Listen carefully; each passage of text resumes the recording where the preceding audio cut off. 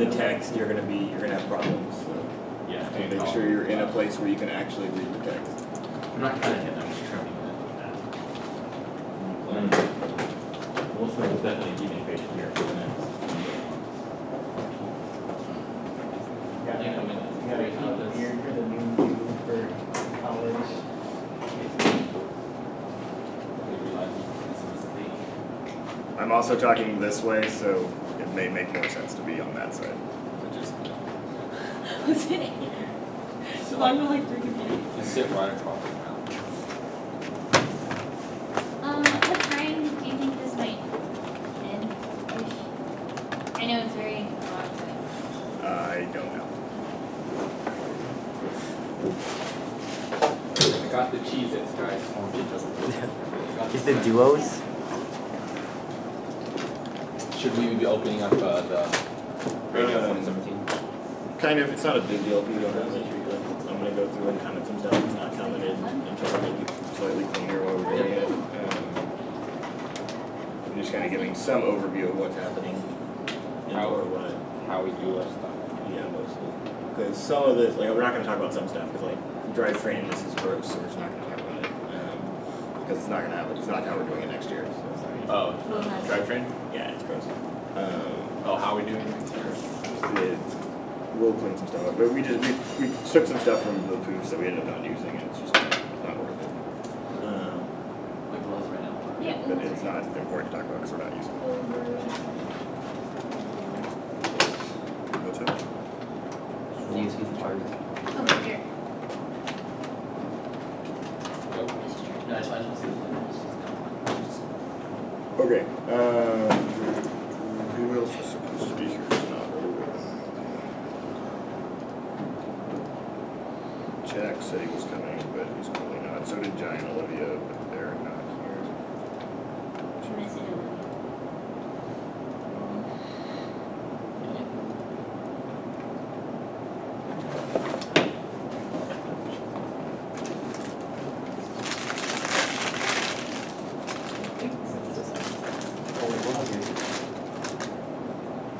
Well- Here's right there. Yeah, computer. The phone. Computer. Oh, you mean this one? Oh, okay. Go ahead, good.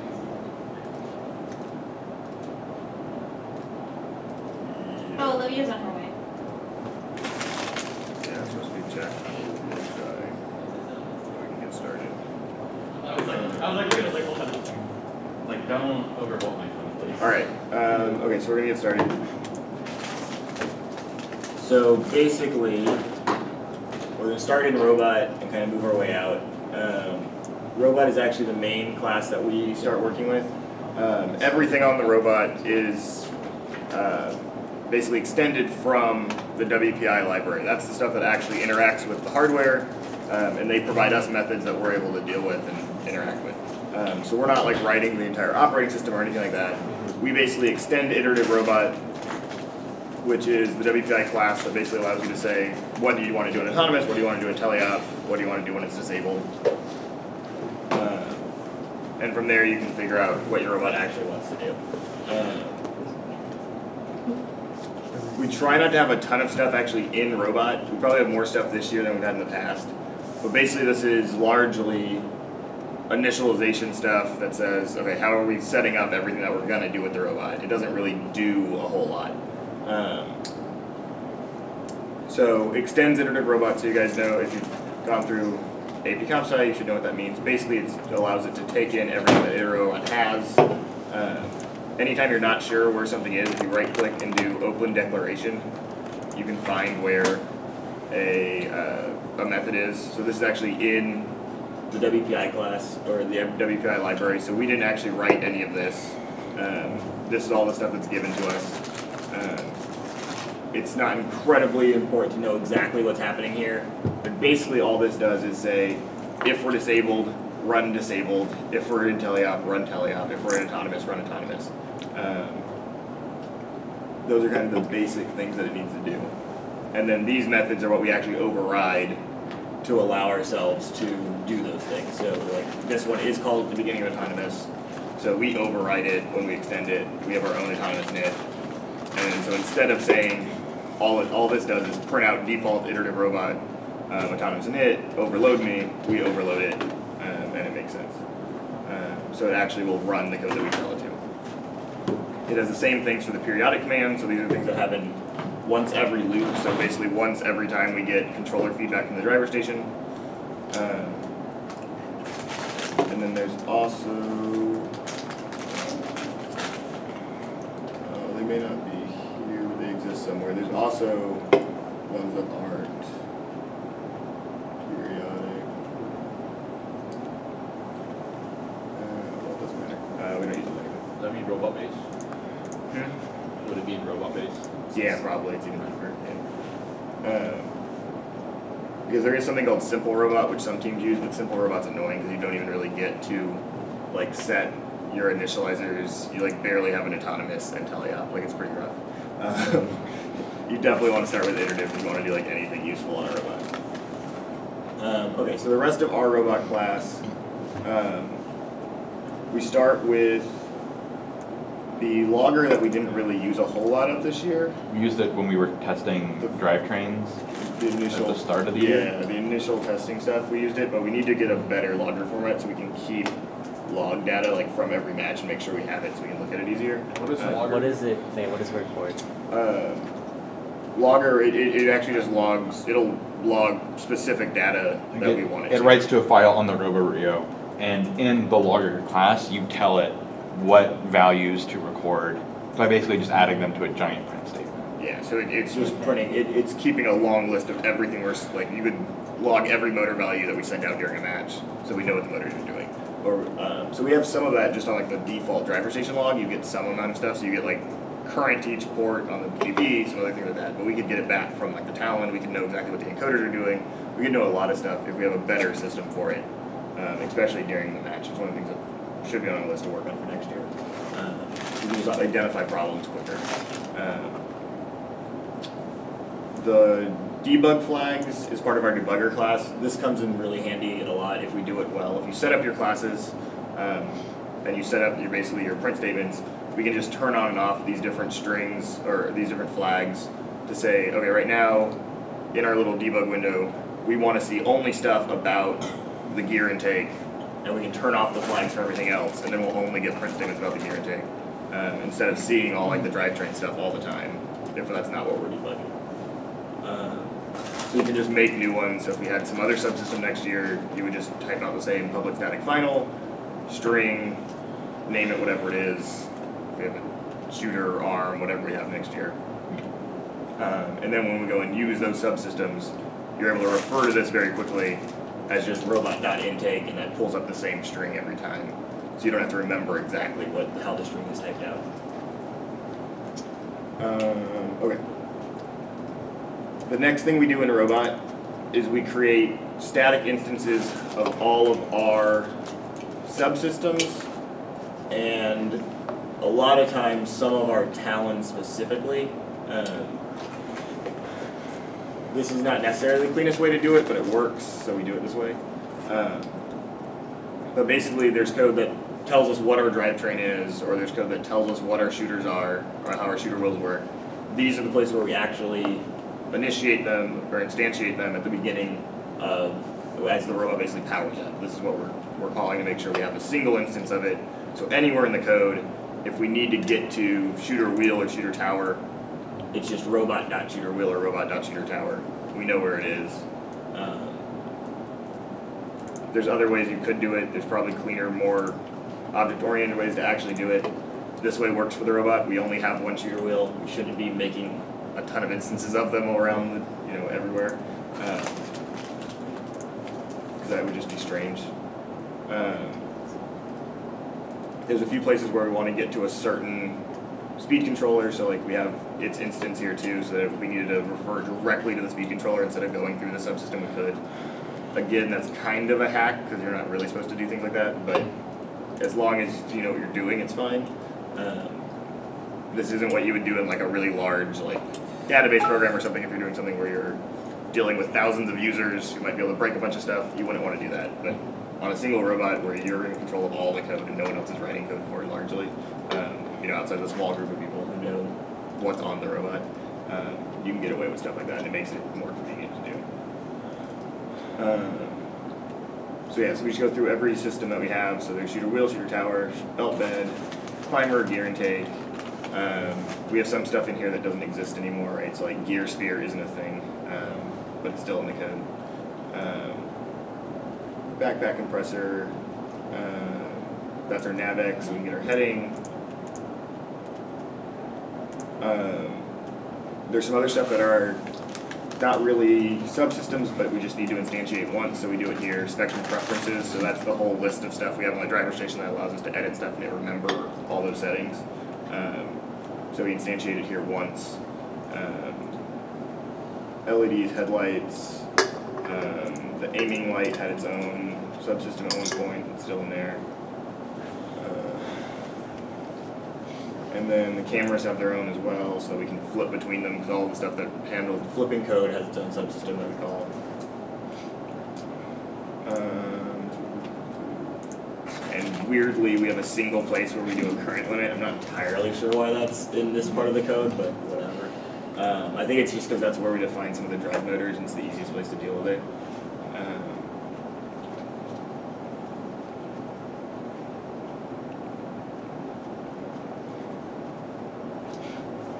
Yeah, we may need a dual effects, that may be why we're running out of some actually. What, that that was too low? Yeah. Because of that. Well, that could be causing jittering, but that wouldn't be a reason Well, why. but we if it would killed cut. one of the motors for some reason, remember we saw that cascading? But does it failure? kill or does it We don't, cap? I don't know, that's the question, right? It should cap.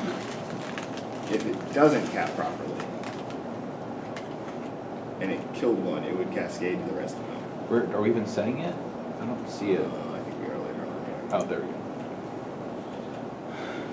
So this is the giant block of Talon settings. Yeah, so this is basically all of our drivetrain Talon configurations. Um, this probably could be simpler. It's really gross right now. but but- it does its job. Um, basically, because each each Talon SRX has its own microcontroller, we're basically setting it up at the beginning to tell it exactly what we want it to do to the motors every time.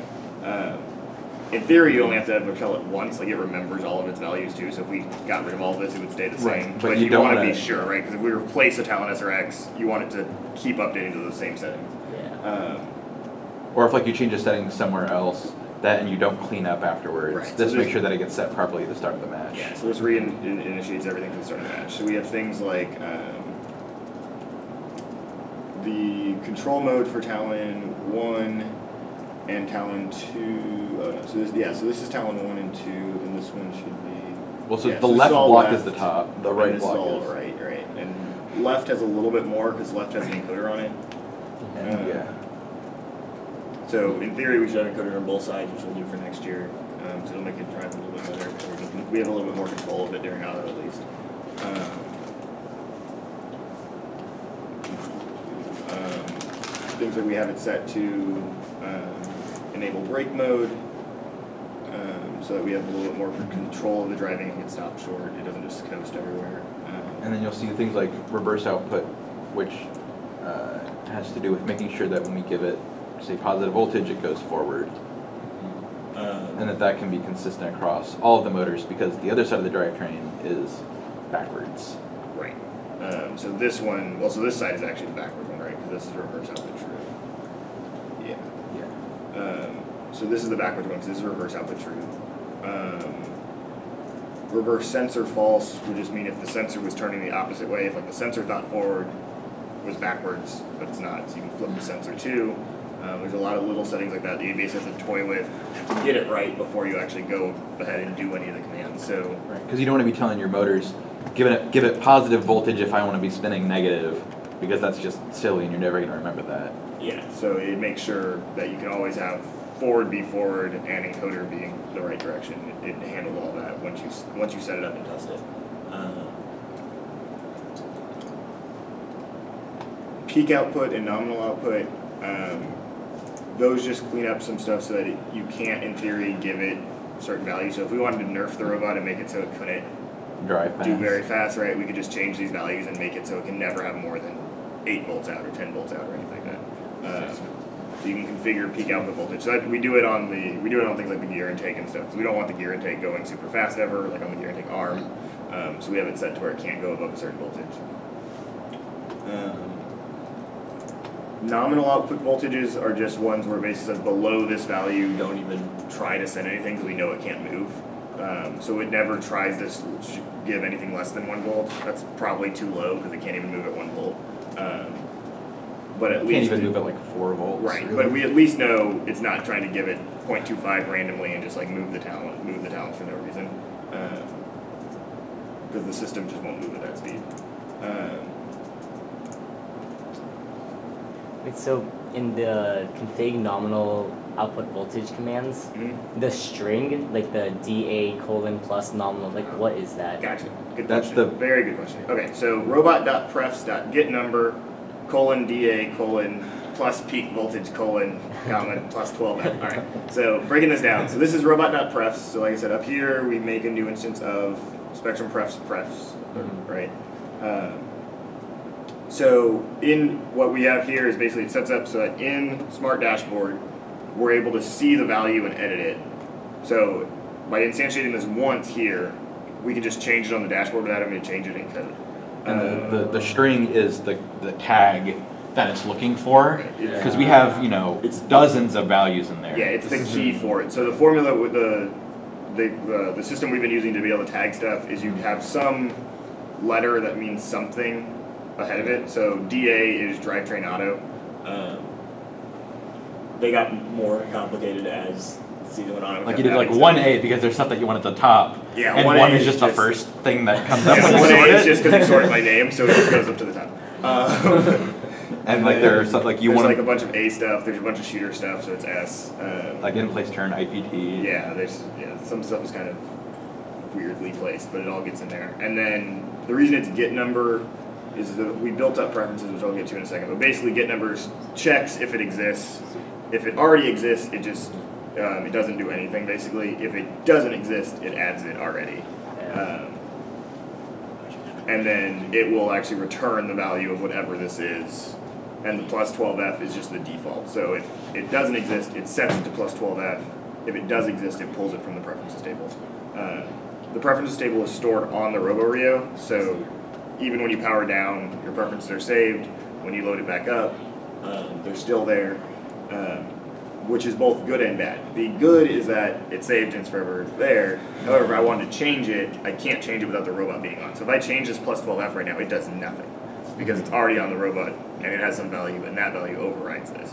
Yeah. Um, so I have to change that on the preferences. Um, Or if you're or if you're filling around with it and you freak like if you're tuning a PID loop and you have something that kind of sort of works, but then you start tuning it and then you completely break it.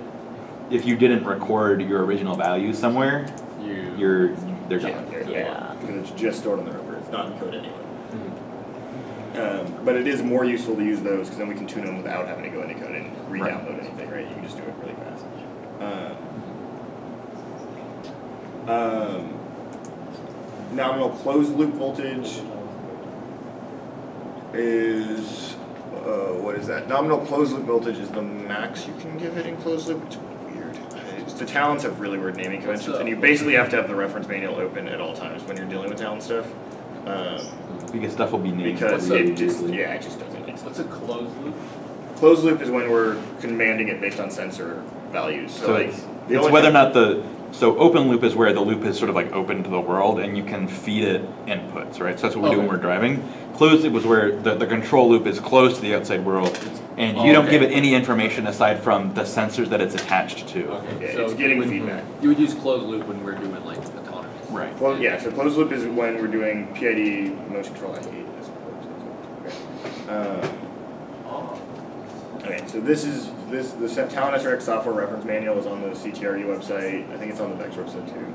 But this is if you're gonna program for the robot, this is like your best friend and most mm. annoying. It's 174 pages and it looks really long, but there's a table of contents And that you- kind of Yeah, you kind of search sometimes, and you just like figure out what things are, right? So we said, what is it? Set nominal Closed loop. closed. Should come. All right. So set nominal closed loop voltage, and it'll tell you what it is up here somewhere. Closed loop nominal battery voltage, and then you read this whole chapter, and then you figure out what it is. Um,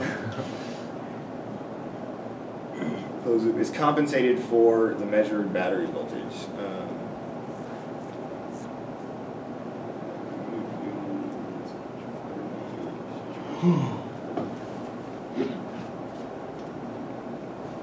so basically, Basically, this says pretend the battery is at this voltage always, yeah. And give this proportion and give proportions of this number as opposed to proportions of whatever the battery is at. So you're basically saying this is the top of the battery voltage, right? So in there, I think we end up changing it later, but currently it's set to seven. I think I actually change it in auto later on, so this doesn't do anything. Yeah, there's there's like a preference that we change in the panel. Yeah, it, it's it's changed somewhere else, but this got left here. It doesn't matter. It initiates to this, and then we change it again somewhere else, um, which is not again not good. It should have been cleaned. Um, but I'm almost certain it's not seven because seven is pretty low, and I think we're going faster than that. Um, set allowable closed loop error is also I'm almost certain it doesn't matter here because I'm almost certain I said it later. Um, Yeah, because I'm pretty sure this is encoder ticks, but then we Right. definitely just use inches later. Five is crazy small.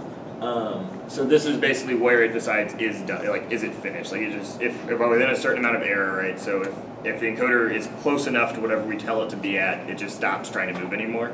Um, I'm pretty sure that is encoder ticks too. So five encoder ticks is one. On those, it's one uh, five one twenty fourth of a rotation.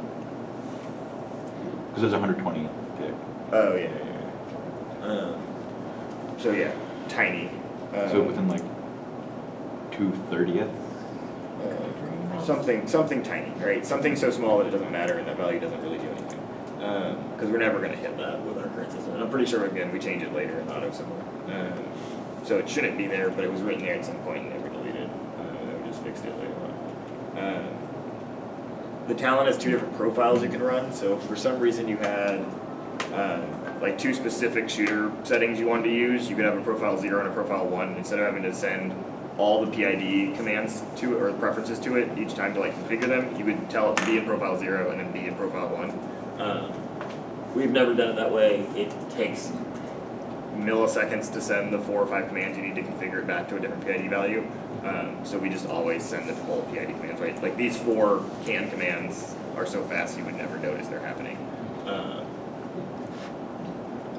these are places where we are setting our um, PID commands for motion magic, which is a whole other chapter of this giant thing, which if we want to start doing autonomous code, we need to read, but basically it's how we do all of our drive stuff, is motion magic.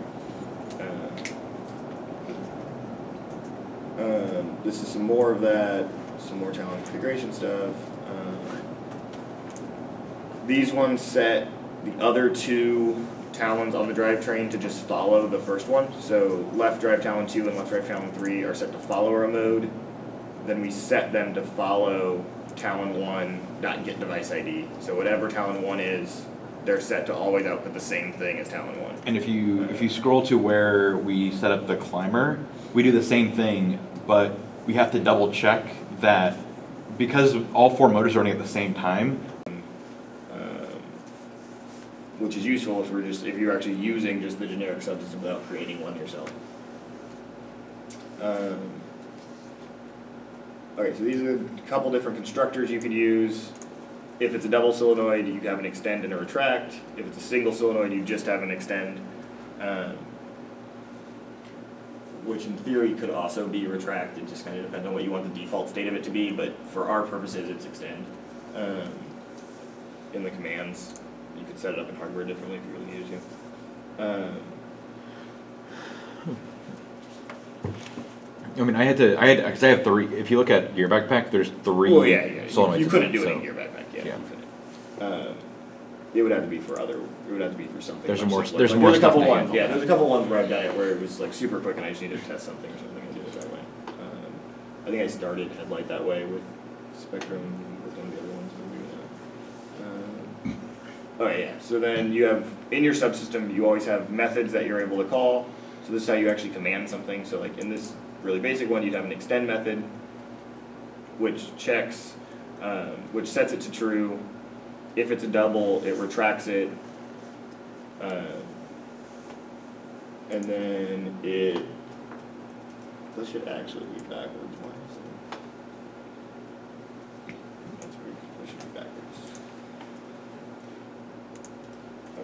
Okay. It, because it should tell retract to be false and then extend to be true, just to make sure it actually happens that way. Because otherwise, you could, in theory, have them both set to extend, which would, or I mean, it happens.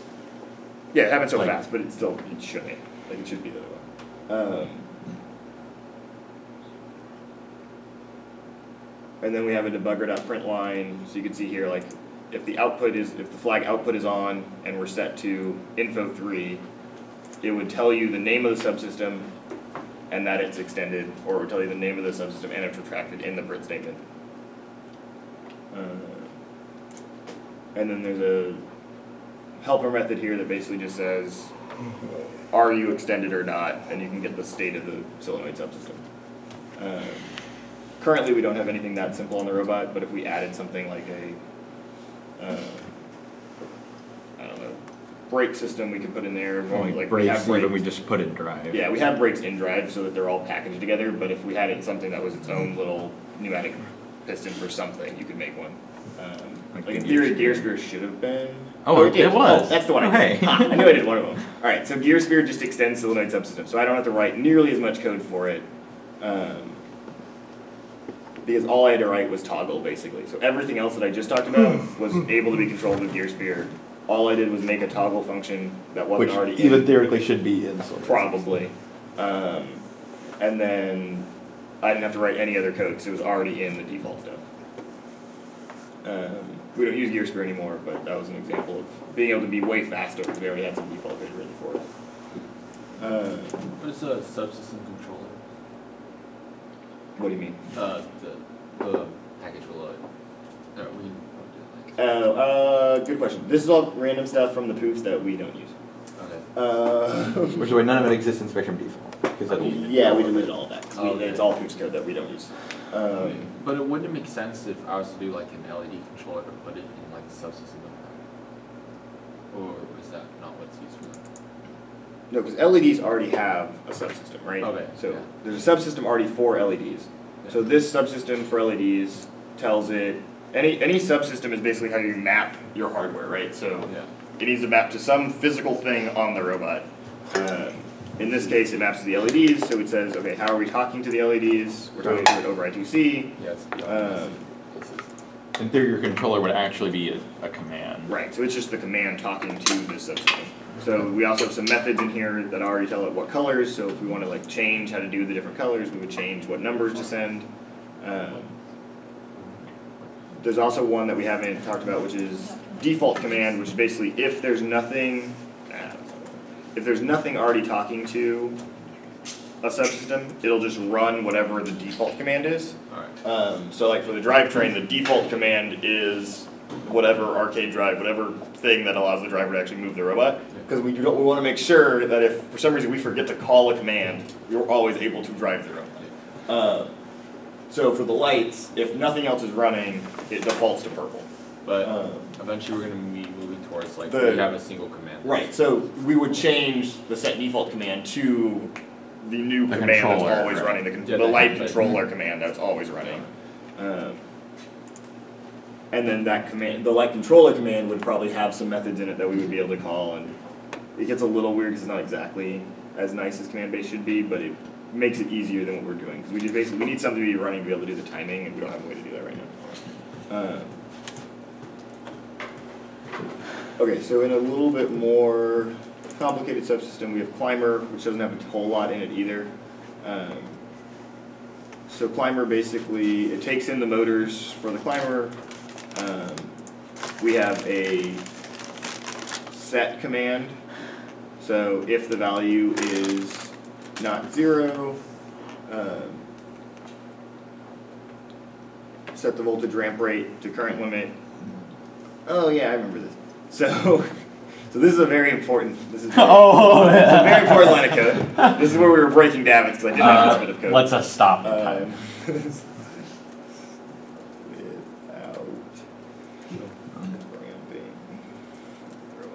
Okay, so When we first added this Oh code, uh, Elaine couldn't stop very fast, So she would just like So- stop when you were expecting to, and Yeah, then so hit you the let dab. go and it would keep going. Correct. It's still That's because set voltage ramp rate would make it so that it can't just go from like full voltage to zero immediately. Right, because ideally what we wanted to do was that we didn't want it to climb too fast because it was breaking through the Velcro basically.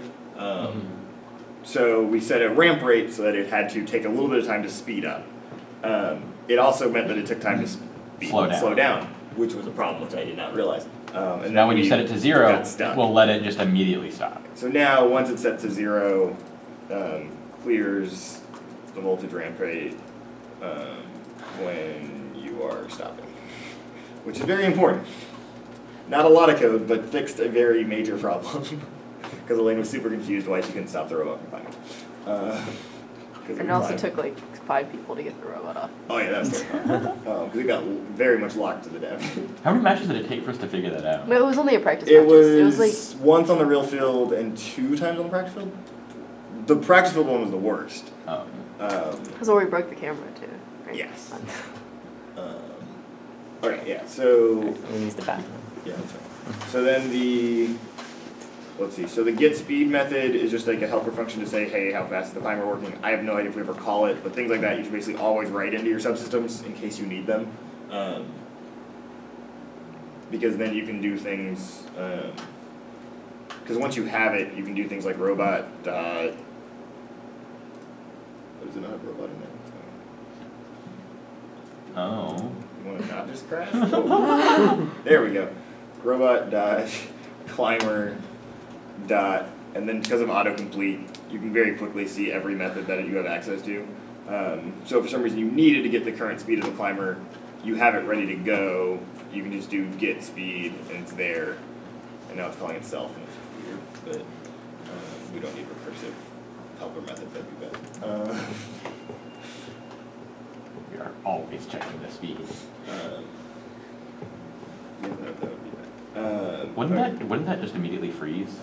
Yeah, be very, Yeah. very poor, because there's no way for that recursion to ever end.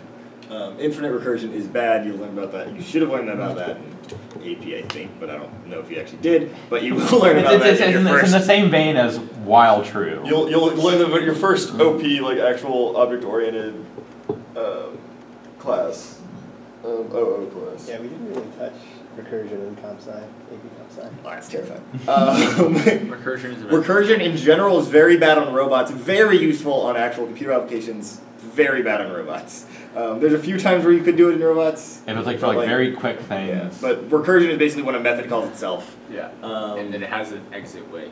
yeah, If you don't have an exit way, then it just very yeah, Wow. very very useful in robot in computer programming. Incredibly useful in computer programming. Incredibly terrifying in robot Robots. programming. Because you end up anytime you're halting the loop and it can't get feedback from the joystick is a bad thing. Um, um, get current just does the current, and then we also have disable, which um, just completely disables the motors. it just turns off the motor controllers. um, which we don't necessarily want to do ever. Um, is climbing checks if um, the climber motors are moving at all, if they're just anything above zero, um, and it checks if we're climbing. I don't know if we ever use that either, but it exists. Um, You can check. You can check yeah, that. I know, but it doesn't matter. Um, okay, so, uh, so, so certain, uh, certain parts of the subsystems are super easy. Like there's nothing complicated in Climber really. Um, there's a little bit more complicated in the command itself, but nothing really. Um, um, Very bare bones.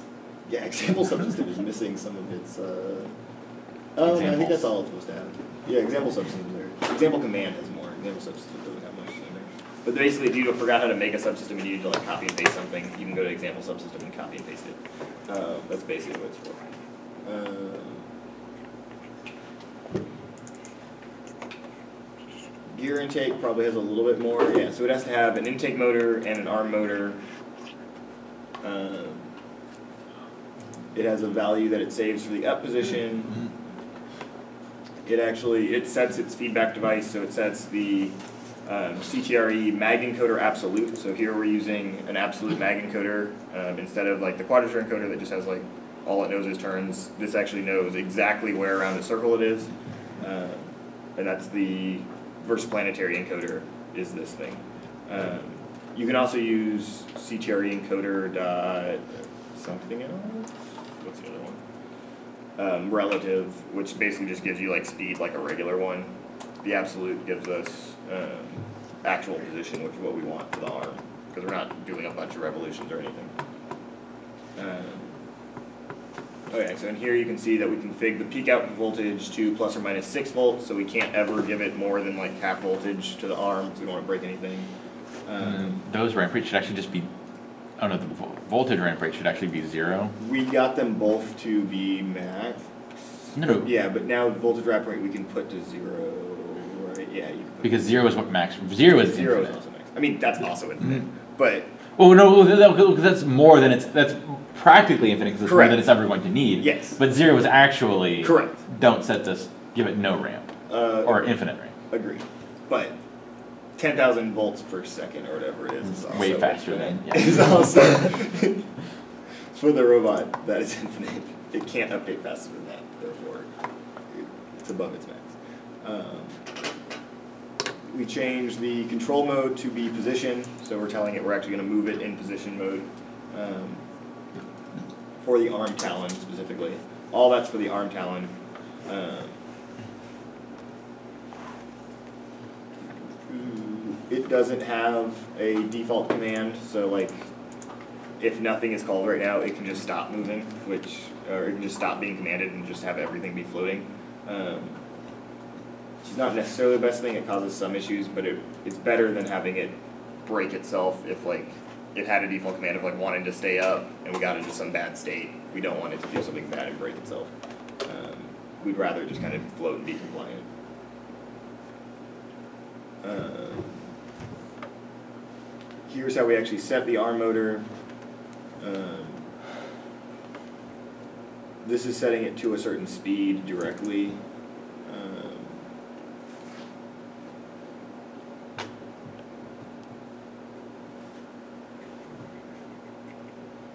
okay, these are just some gets, so we can call back the. You can basically just return the speed controllers directly from here if you want to. Um,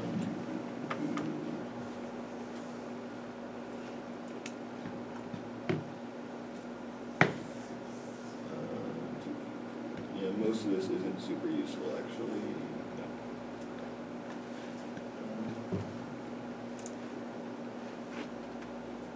Um, is there any other subsystems people wanna look at? Uh, drive and, or shooter wheel will have PID, drive will have motion We magic. shouldn't touch drive, because drive is gross.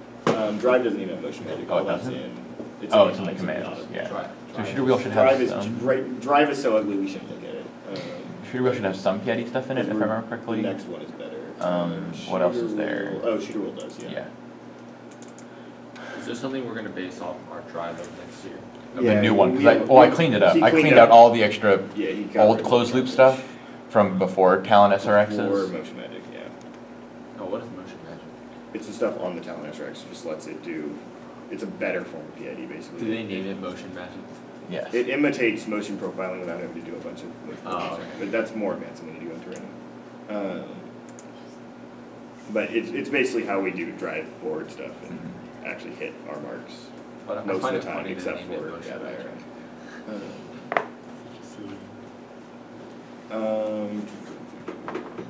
okay, yeah, so shooter wheel subsystem does define stuff like, um, ways to set the PID on the Talon, so we can configure the different, um, variables here. Um, we do most of it in the command itself or in setup. Um,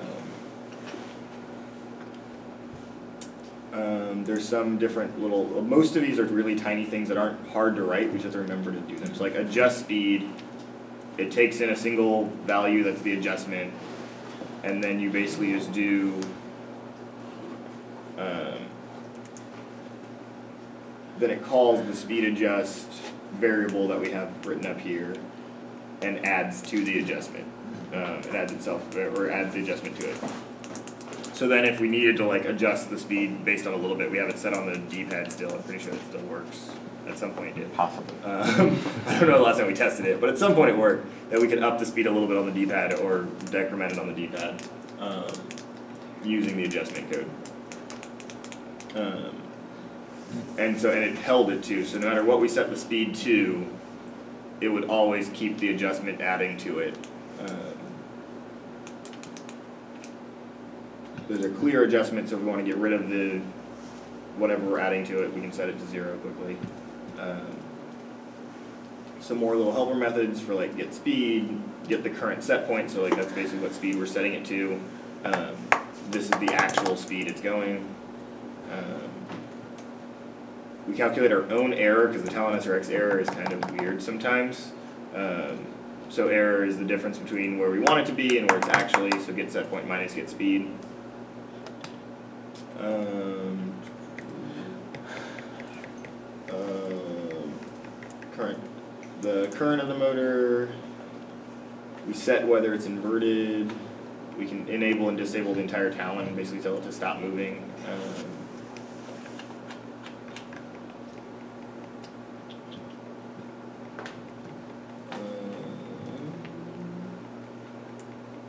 I don't think we use on target right now. I think it- it gets, no, no, it gets called, um, in dashboard. Oh yeah, yeah. The, basically, this just checks basically if we have a green light for whether the speed is at the right spot on the dashboard. Um, Which it's there, I don't think we ever actually use it. yeah, we it's don't. there. It's there. I think it's probably even set to like a true false, not actually a, a colored box on dashboard. Yeah, it's supposed to be a colored box at some point, but it probably isn't. Um, but yeah, this was supposed to show you basically you wouldn't want to like run the belt bed and fireballs if the on target light wasn't on. Um, some of this code would be it'd be much more helpful if we once we start going into being able to shoot a tele out, not in auto. In auto, it checks all that stuff by itself. Um, this is we use the same method for the shooter wheel and for the shooter tower since they both have to be speed, speed controlled. Okay, well, it's, it's the same class, and then they just get handled differently in shooter on and tower on. Yeah. So actually, if we wanna look at those, Um, okay, Or- does anyone want to talk about any other subsystems briefly? Oh, yeah, the other ones matter. Like subsystems are all pretty simple. Um, like the entire gear backpack subsystem is just, here's a bunch of solenoids, and set them to true or false, depending on what you wanna be doing, like that's literally all it is, is like, It's okay. six, six solenoid fun methods and then two sensor methods, or no, even one sensor method. One sensor method, yeah, it says, hey, do, i- i- uh, did we score, is the little button pressed? Um, do you want the flap down, up, like where do you want stuff? And that's all it is. Solenoids can only be uh, activated and deactivated. Right? Solenoids? Yeah, you have, Yeah. you have a one or a On zero. or off. Right, and you have one or zero on both sides if they're doubles. If it's a double. But these aren't even, all of these are. These are all singles. singles, so I just didn't even Right, bother. every single one is set to a single, so that it all, it defaults to a certain state when power's not on. And then that, that last gear deploy stuff is, uh, at IRI, we were, when we were doing some stuff with the, uh, the spring sensor, we noticed that like it would just start twitching if you held down the pad. So basically, there's some backend code in that, in auto, to make sure that it only activates it. Basically, you can't activate the gear pad twice within one second, is how it's currently coded. Oh, we're gonna show how we map buttons. Yeah, yeah, Yes. we'll get there in Oh, just a okay. second. Okay, because if you don't have, if you don't know what a subsystem is, though, you can't. Or a command, what a commands are method also is. important. Um, yeah, because we have to go through commands next briefly. We're not gonna go through all the commands. Commands get more complicated, but a couple of them will be helpful. 'cause So commands are basically what the things that actually do stuff to the subsystem. Basically, everything we've done so far has just Then interfacing with set the up all the yeah. So set up all the hardware right. So back to the very beginning, where we had like the hardware dot whatever and like literally the port numbers. Then we have set up subsystems, which goes through and calls all those things and kind of builds our map of where everything is. Um, and then the commands are what actually start interacting with everything and actually allowing the driver to do stuff, allowing auto to do anything. Like we basically in auto, all we're doing is calling commands, and all the buttons do are call commands. Everything gets done in the commands. Um, so down to the most basic of stuff to like vibrate controller. That is one of our commands. Um, it takes in a Xbox controller, a duration, and an intensity. Um, it initializes by setting the rumble on both sides of that Xbox controller, and to be that much, it starts a timer. Um, it tells you it's vibrating the controller at debug on robot.general, so you can see that it's vibrating. Well, why do we have the controller vibrate? Uh, feedback for the drivers. Um, Um, so like when I think the one I know one of the ones that's used is shooter on and Uh, gear intake Yeah, gear intake. I don't think we have it on for shooter anymore. But yeah. We No, if you we turn the shooter on, it definitely rumbles. I'm Oh, oh no no. So is it the shooter itself? Okay. Yeah. It should. Oh, when the shooter light the is green, itself. it should also be rumbling. Okay. I'm pretty sure. It's So- relatively lightly on your controller. but- So for commands, we always have to do the initialize, execute. Yeah, finish, yeah. So that's basically the the, the Oh, and set- is and interrupted. That's an Yeah. important one too. Library control, so like you have an initial, you initialize it like normal, like you have your constructor. Then you have, there's an initialize method. Um, figuring out what goes in the constructor and what goes in initialize is interesting. So your constructor is called at the beginning of like the robot, right? Like you build a command possibly once at the As soon as OI gets built, basically. Maybe, yeah, most of the time, um, right? So it's whenever you do new vibrate constructor, you, you create a new instance of that class, right? That's when it gets called. Initialize gets called every time the command is run. They seem similar, and a oftentimes one of our most annoying problems that we find is that we do something in the constructor that should be done in initialize. Um, so in general, move it to initialize if you can, basically. Alright, um, so we should only be using the constructor to like store variables, like Yeah, like that, that's about every, those have to happen, right? It's like, you, you're building a thing, you're storing the variable that goes up here. But for the rest, Um, we should just start. If, if everything else is initialized, you're better off. Um, because what will end up happening is, especially, the biggest problem is you'll end up doing stuff with the, um, like the preferences table or something, and you'll do it in the constructor, but that happens once. So if you update it in the preferences table and the robot's running, it'll never see It'll- it it'll never- because it constructed it once. The initialize happens every time the command is run. Um, and Every every time the command is started. started, sorry, yeah. Which, yeah, not every time. It's not every time it's executing through its loop. Um, That's what Execute, what's the difference between start and execute? so initialize happens once the command is, one time when the command starts, right? Yeah. Execute happens every time through the loop. Okay, we need them to all turn the drum the same way. But two of the motors are facing in different, dir- are like, or oriented opposite to the other two. So you'll see we have to use another uh, method. Let's see, where is it? I'm guessing it flips. Oh, there we go, there we go. We need to use reverse output because, so they're all, they're all cloning to the same first climber talon. But they need to clone it and then flip the output from it. Because if they were all spinning clockwise, it would Oh, seize up. So we need two of them to spin clockwise and two of them to spin counterclockwise. Yeah, so we make the, we make the climber left talon the one that we'll actually use. So climber left talon, um, is the one that we actually tell everything to, and it gets, it gets into the climber method eventually. Um, we set it to be however we want it to work, and then from there, we set the rest of it, um, each one of them. Uh, doo-doo-doo-doo, is there anything else in there? Um, we give them the same voltage rate limit, stuff like that. They're all in brake mode, and then we actually set up the left and right drives so that we're able to command them later. So that's where we actually, the commands are where we actually command everything. So I said, And- all of this is just setup code. Right. None of this does anything. And those Spectrum speed controller cans are what we use to control blocks, or basically just to, to group blocks of talons together. So the only one we ever actually interact with is that first one on the list, right? The mm-hmm. other two are just slaved to it. Yeah, but what it allows us to do is we can say get, Right. uh, spec, we can say get left drive current, and it gives us the combined current of all three, Right. it's because it knows they all exist. Uh, And it also, it's how we, we keep track of the PDP slots, Mm-hmm. uh, and at which Talon they're paired to. So we can do Spectrum Speed Controller, you know, get can Talon one, which will be the middle one, and, you know, get, uh, PDP one, which will be the middle one. And so we can, uh, just keep track of all of those in one place without having to go to, you know, six different locations for them. Yeah, so, and for all of them, we set up to where you, we know what PDP slot each talon is set up to, so we can get the current off the PDP for which motor. The talons themselves do it too, um, but it's useful to have both options, um, especially if we have a motor controller that's not a talon SRX. And at this point, it might be kind of broken, because I feel like we've just rewired that thing so many times and changed Uh, can no, we shouldn't have. Shouldn't it? All that should be right. Okay. Almost certain all that's right. Um, yeah, 'cause we definitely never rewired the, because rewiring the PDP would have been weird. No, but we, we like shuffled a lot of can Talons around and we redid, Not the drivetrain though. not the director, okay, not the director. There's no way we did the drivetrain. 'Cause those have to be on the same size. Um, I don't think we moved everything. Almost for all. We did, we did invert drivetrain at one point though. Hmm? To where, because it, wa- it used to be like top to front bag, now it's like back front. Mm, I'm pretty sure that's still right though. Pretty sure. Um, but yeah, we, it doesn't matter either way. It's working. Um, all right, so we talked about climber. We basically do that for all of our subsystems. Um, and anything in there is different.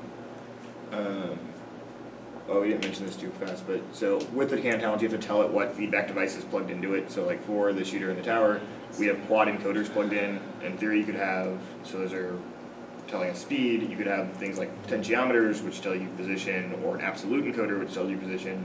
Um, And then that just tells it how to interpret the signal that it's getting into its data port. yeah. Um, um, in configure encoder codes per rev, again, one of the stupid terms that's from the Talon SRX manual, um, tells you basically how many ticks per um, revolution you get on the wheel. So for every every revolution we have on the shooter wheel or on the tower, it gives three ticks. Which is, which isn't actually true because we, No, it is true. no, it is true. That, that was true. It was done before. Remember, it was we were confused in what it was telling us because it was like, oh, it's six, but it's not actually six. Oh, right. It was only three because it was like multiplying by a weird number and doing all sorts of weird stuff. Um, uh, okay, yeah. So we set up the belt bed. We set up um, shooter motor. all those things get set up and get ready to run. Um, here where we're actually calling the subsystem, so like this gear backpack, new gear backpack, we're passing in where the solenoids are for it. So like the gear backpack has a, It has two flaps and the doors. right, so it has the backpack solenoid where we actually deploy it, it has the gear flap, it has the ball flap, and it has the spring sensor, right? So we pass in all those things to our subsystem that we create, which we'll talk about in just a second. Um, so it knows where everything is.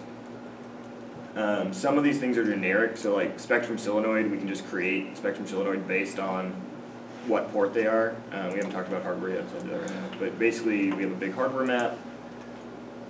The HW file is hardware, and that's where we map everything to ports on the roboRIO or CAN IDs or any of that stuff.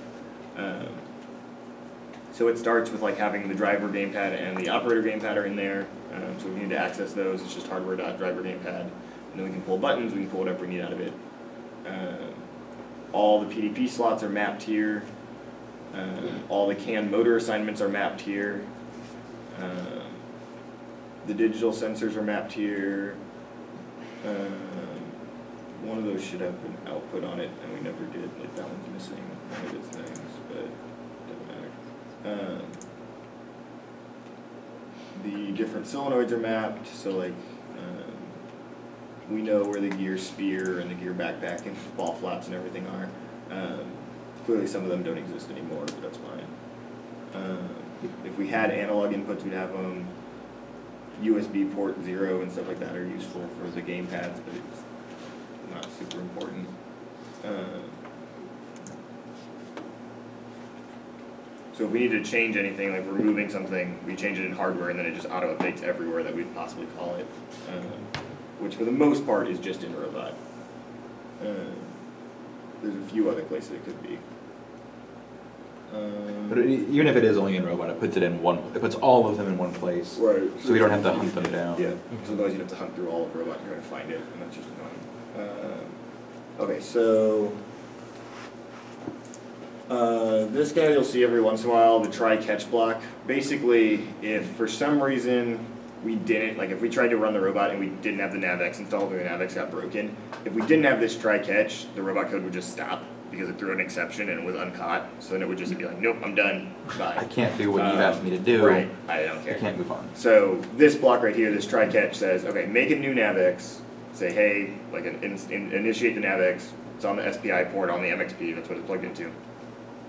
Um, if that works, set NavX ready to true, so that we can check if the NavX is actually there. If it doesn't work, catch the runtime exception, Um, it'll put out a driver station error, so it'll report on like the little error window in the driver station saying um, error initiating NavX, blah, blah, blah.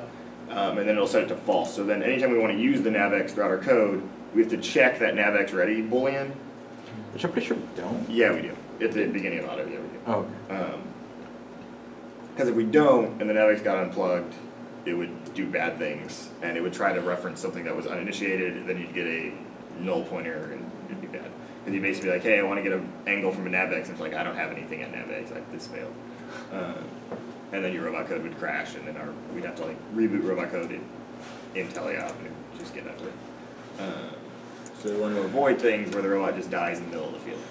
Um, and that would be a case where it would if for some reason the NavX wasn't plugged in, because the way it, the code works for it. Um, um, these are some standard stuff that we don't really reference in a lot of places, but they're mostly code from people, other people we took, but you, it's useful to have around. Um, so we can get stuff like the robot state for disabled autonomous teleop. Um, okay, so all of that, like I said, was just kind of our initial um, setup subsystems. It's a method that we call setup subsystems, and it's how everything, all the hardware gets defined basically in the robot and where it goes is right there. That is actually not called until we get to robot init, which is run once at the beginning of the robot code. Robot init is run. Um, it's the only time it runs as soon as robot's powered on. Um, we init debugger, which is down here. We'll get to in a second. Um, we tell it that we started. Um, we set up the subsystems, which is all that stuff we just went through. Um, we make a new OI, which is very important to do after set up subsystems. Um, that is a very simple way to break everything. So I, operator Oh. interface. Operator interface is basically all of the button mapping. Oh. Every button that has to go somewhere, where does it, what does it do? Um, and it needs all the subsystems to exist already. If the subsystems don't exist, you're telling it to like call things that don't exist yet, and it gets very mad at you, and everything breaks.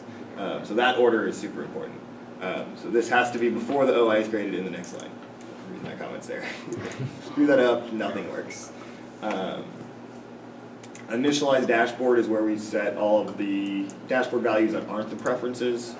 Um, Which is mostly stuff that we just need to read and not ever actually interact with. yeah, now that's kind of basically how it works. Like yaw rate is there. Um, there's some shooter wheel stuff in there that if we we can uncomment and put back on there if we want. Like most of the time it's off. Um, you don't want a ton of stuff in this because it does slow. Um, it does, yeah, it does send a lot of stuff back and forth to the robot. And if you have too much, it'll slow down the roboRIO. Um, so right now we don't have a ton. We just have like the drive. We have some drive stuff. We have some NavX stuff. Um, we have the two shooter wheels actually putting out values. Um, the backpack gear sensor is on there. Um, I think that's about it right now. Um, there's a bunch of stuff that's commented that if we need to, we can uncomment and get back on there pretty quickly. Um, all this stuff we used to use before we had the preferences set up. Um, that was something we added this year, where you used to have to do it all on the dashboard, and you have to initialize the values and stuff, and then go in and change them on in the actual code. And it was super awful. Um, but all that's gone now, so we should actually delete this because we no longer need it. Uh, so we do a much better job of that with in I don't think it's on, it's, I don't think it's on the GitHub. That almost certainly is because it's been pushed. Um, like, I can't imagine anyone would deleted that. Not from radio. Like it might have been in if you're in the wrong project or something. But it's, it Oh, I read radio to Canada though, so. Uh, yes and no, but it's still not here because this is still radio on the project. I don't know, but if you, if you go into Git Extensions though, it'll yes, push yes, too. yes. It pushes to gamma, but the project is still radio. Um, this was random code for me playing around with the cameras. The way- the old way the cameras were set up. We have the new cameras, which are all done in a subsystem now, so none of that matters. Um, um, This just tells the lights to be purple at the beginning. Um, we're gonna rewrite how we do lights, because we're doing them kinda stupidly right now. Um, this also turns the aiming light on, but it or off, but it's not even on right now. It's not plugged in. Um, it may be something we try to get back on at some point. Uh, and then it makes a new logger. It also does make a new logger, which we're currently not using for very much, but we should at some point. Um, the initialize debugger sets a couple things. So it sets the flags on or off. So those flags that we created at the beginning, you can just switch basically off to on, and we can change what we're looking at. So right now we have Auton and shooter enabled. Um, if I wanted to stop looking at the shooter stuff, I could just switch this to off. And now none of the shooter print statements uh, that are done in this in the proper debugger way will be printed at all. The other thing it does is it sets the level of debugging. Um, so you can set up things to where you only want to print at different levels. So we have verbose all the way to silent, which seven means we basically just turn off all print statements. We don't want to see anything on the print log no matter what, because uh, we want to test something and we think the print's giving us errors or something. I don't know why that would ever happen. I don't think I've ever put it on seven. Um, one, you can set up all your subsystems to tell you like every little detail about what's happening on the gear intake, right? Like it can print as it moves, it can print what motor values it's setting, it can print everything. Um, most stuff we keep in this like two to three range for our actual debug values. Um, and there's a few stuff that get to four. I don't Something really weird is going on. Yeah, I don't think we have on- anything that's five or six where it's like this has to show up no matter what. I don't think we have anything in that level um, that I know of. I don't think I've ever written anything in there. Um, but largely, it's stuff like info is like um, one of the things I know is info is like when we finish the turn, it tells you what like how close it was to getting the actual angle it thinks it was supposed to be hitting. Whereas Uh, debug will be like its and- angle as it's turning, Right, along it- with what it's setting the talons to, and Right. all So it's a little bit more information, and maybe not what the towns do. That might be remote. but- No, no, no. I thought- I thought we. I mean, it might be right It now. might I don't okay. know, but in theory, it probably should be remote for you guys. Um, yeah, so that allows us to kind of quickly tell us, get us different things if we're trying to fix a problem in code. Um, and you have to remember which one of these you set up though, and what levels you set it to. Um, or kind of get close, or go back and look, so normally ends up happening. Um, Okay, so then these are all the things that we basically overload um, in other methods and in other classes. Um, so these are the ones that get called. So at the beginning, like once robot init gets called, we'll go into disabled, we're not enabled yet, and it would call disabled init. And all we do is we set the state here, and then we basically say disabled init has started. Um, we call it from the disabled class, which is a whole other class that we'll look at in a second. Um, and then once it's over, we print the end. So this is kind of just some formulaic stuff that we know it exists. Um, and we'll see the print statements or print general info. Um, if general is off, we won't see those. Um, And then I tried to do remove press, but that kind of failed. Not that that ever worked. Yeah, we need to figure out how to fix that. Um, ideally, if this works, we'd be able to pull the ones that we didn't want out, but they weren't, preferences wasn't doing what we wanted to, so we gotta figure out what that's about. Um, um, yeah, so that's basically all of robot. Um, let me figure out, mm, figure out how to make this work. Uh, because it's not doing quite what we want it to. Having these little like helper print statements down here, like I have them in a couple of the subsystems I have, um, they make it so just debugging is quicker. So instead of having to do debugger.println parentheses the message you want, comma general, comma debugger.info three, you can just have print general info, do what you want, and it does it at the right level. It sets your flag and it sets your debug level for you. Um,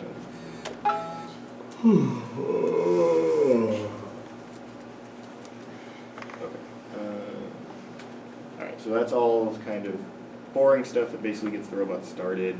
Um, where do we want to go next? Do we go into? Debugger works probably, you already have it open. Uh, we can briefly show debugger. Um, debugger is literally just a wrapper for print statements. Like it's not super complicated, but it makes it much easier to do stuff. Um, you basically just tell it print line, the message, which flag it is, the flags that we set up in robot, and then what level it is.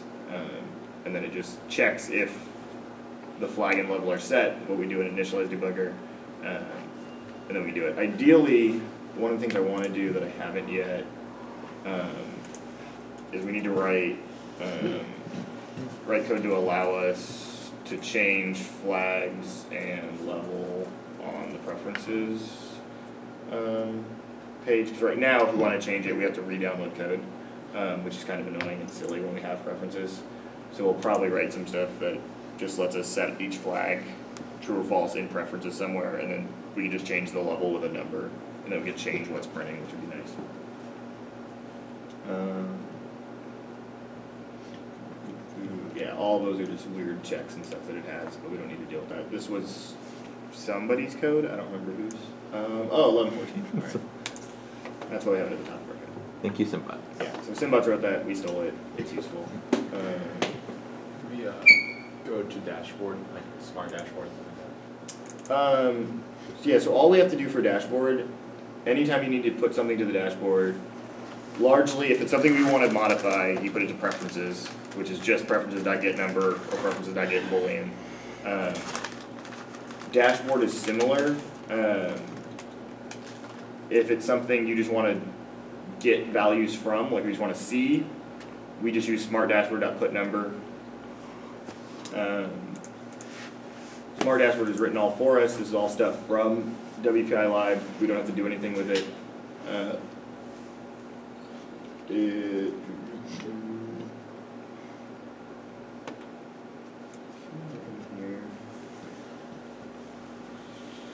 Yeah, so all of them are public static methods, so you don't have to do anything special with it.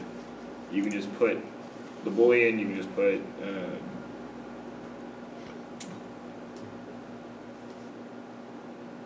So these ones, these ones were set up, so like, I think this is still the one we call array at one point. I don't know if we still use this. Um, but we could, we had this set up to where we could change this to false and disable autonomous if we wanted to, like if for some reason autonomous wasn't working. Um, but we put the boolean, so we basically told it to be a block there, um, briefly, and then we could go in and edit if we need to. So these ones only get run once, um, at the beginning, so they're not constantly updated. Update put short is, these update regularly, we haven't been called in, um, teleop and disabled, so during, in- during their periodics, they're constantly calling these, um, and putting stuff out to the dashboard for us, so we can see the NavX yaw and rate and drivetrain and stuff going on. Um, And the shooter dashboard, which is just a block of is stuff. currently disabled, Yeah. but we could enable it and get all of the wheel speeds and everything else we wanted to. Same with gear dashboard. then update put long is basically, um, it updates, but it updates less frequently, so if there's stuff that we care about but don't care about nearly as often, um, I think the long delay is set to Half a every second. half second, and the short delay is every Fortieth of a second. yeah, so fast. Um, so there's certain things that we don't need to update faster than every half second, right? Like which auto command it is set to. If we're checking every 40th of a second, we have a problem. It's not updating that fast. Every half second's fine. Um, same with the compressor state. Like we don't need to know how quickly it is. Um, ideally, we should move more stuff to long, just so it lowers the demands on the CPU. We don't have a lot of stuff being pushed out right now anyway, so it's not a big deal. But we had a lot more before. Um, and especially during competition, you don't want to run that much stuff going out to the dashboard. Um, but yeah, anything you want to put, you just do smart dashboard put number. If you want to read it back, you just do smart dashboard get number. Um, if it's a true false value, you can just do boolean. Um, but it's pretty easy. There's no big issues anymore. And if it's a true false, you should use boolean Yeah. so that you don't accidentally put something other than true or false. Um, well, if you type true and false into something that's not boolean, it's not Oh, gonna work either. Um, you could do in theory, you could do number and use one or zero or something, but that'd be weird. Um, you can also put string. I think the only one we use that for is the autonomous name, um, in the way we have like auto set up. Uh, so do we want to start with auto, just autonomous.java, or is that Uh, way? You know what? I'll just say uh, auto's probably farther along. Um, Yeah. probably need to start Or doing commands, yeah. subsystems even before we do that. Okay, so Uh, drivetrain should be way cleaner now. Uh, yeah, well, this is still the old, this is still Oh, okay. ours, this is in default. Um, okay, so we're not gonna look at drive, because drive is gross, we're gonna look at some of the other ones, so we have some, we Shooter have some default ones that we built that are used. that we never use. Um, no, we I, do, so. I always just write a new one. Um, and, like don't even bother. Like I reference solenoid subsystem right, for like how everything works. oh, do you not just extend it? No. That's what you should do. Oh. In theory, you should. Alex. Shooter wheel should be pretty clean. And it has more stuff going on it than, or climber even, yeah. No climber's pretty bare bones.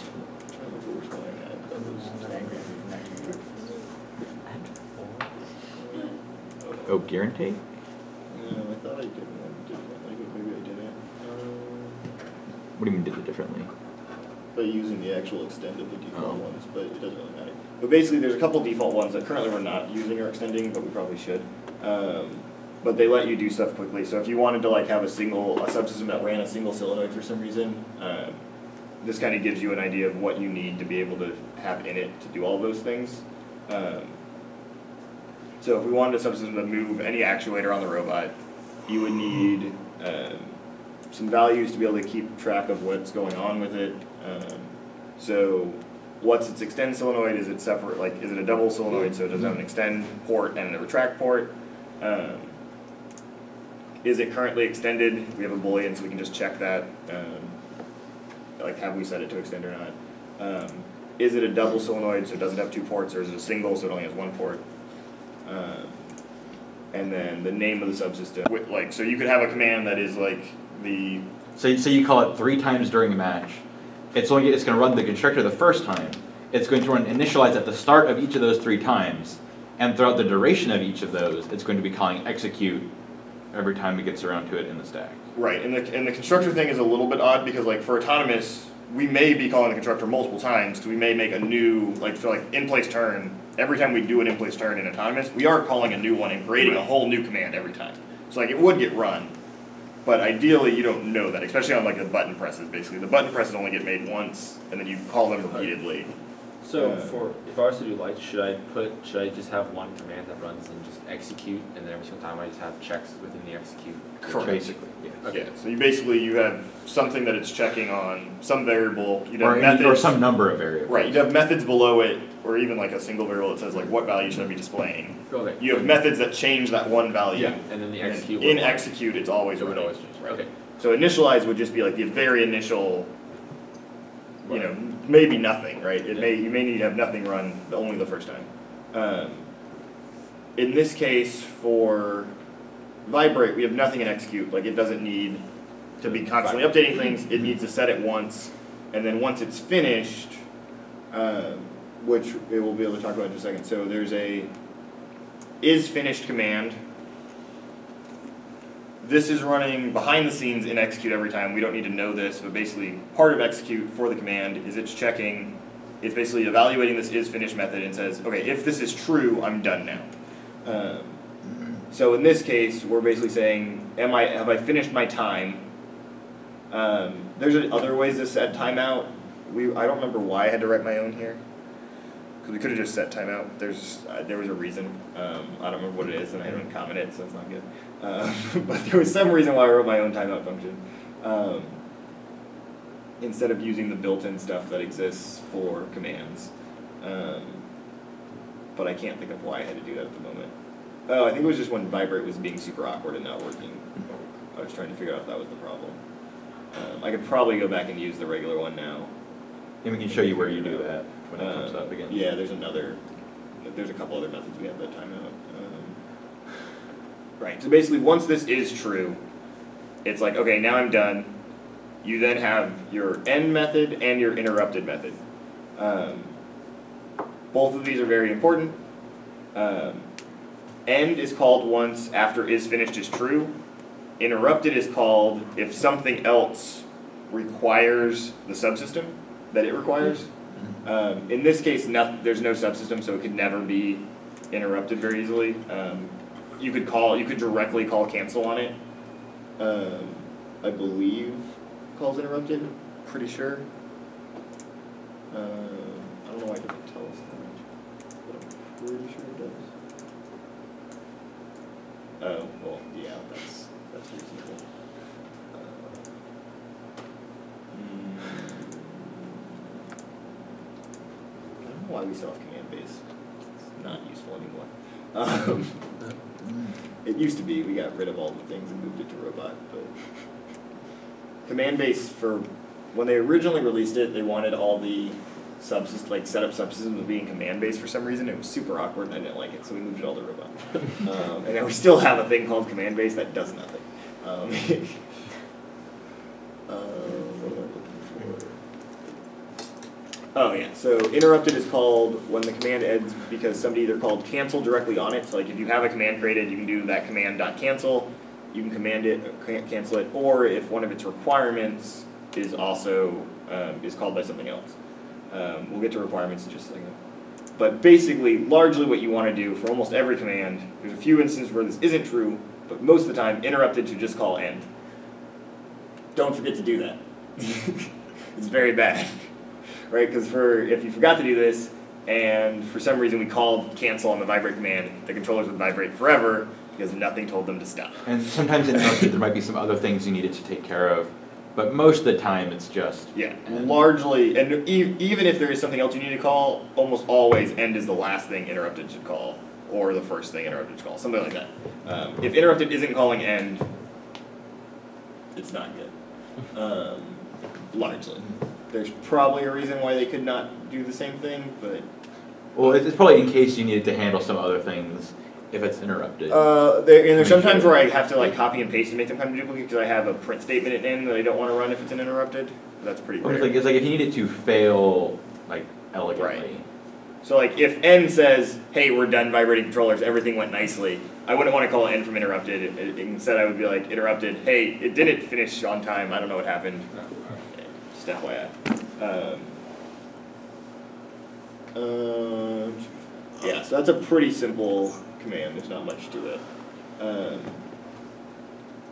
um, Is it climber? Sure. oh, no, no, no, where'd the um, don't we have where'd the other climb go? Isn't there a new climb? Manual climb?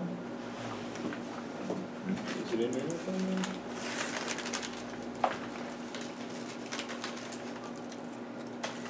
No. Oh, it's set climber. It's, Well, definitely, it's definitely set climber. No, because all the other stuff gets handled by the. Hmm.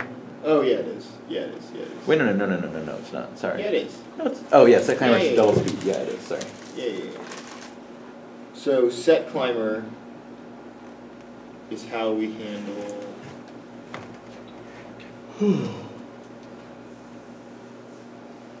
Oh, I'm just confused.